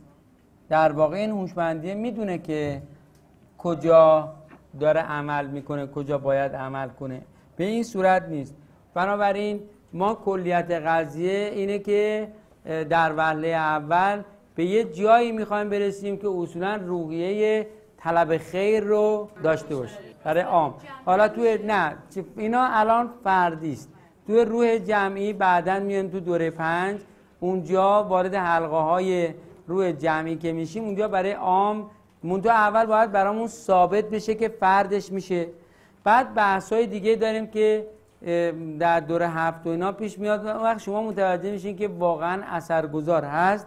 یا اثرگذار نیست؟ اصلا الان اگر بگیم که بریم در روی جمعی کار کنیم شما باور نمی کنید لذا جدی نخواهید گرفت. اول باید مراحلی رو طی بکنیم. یک فرد به فرد انجام بدیم.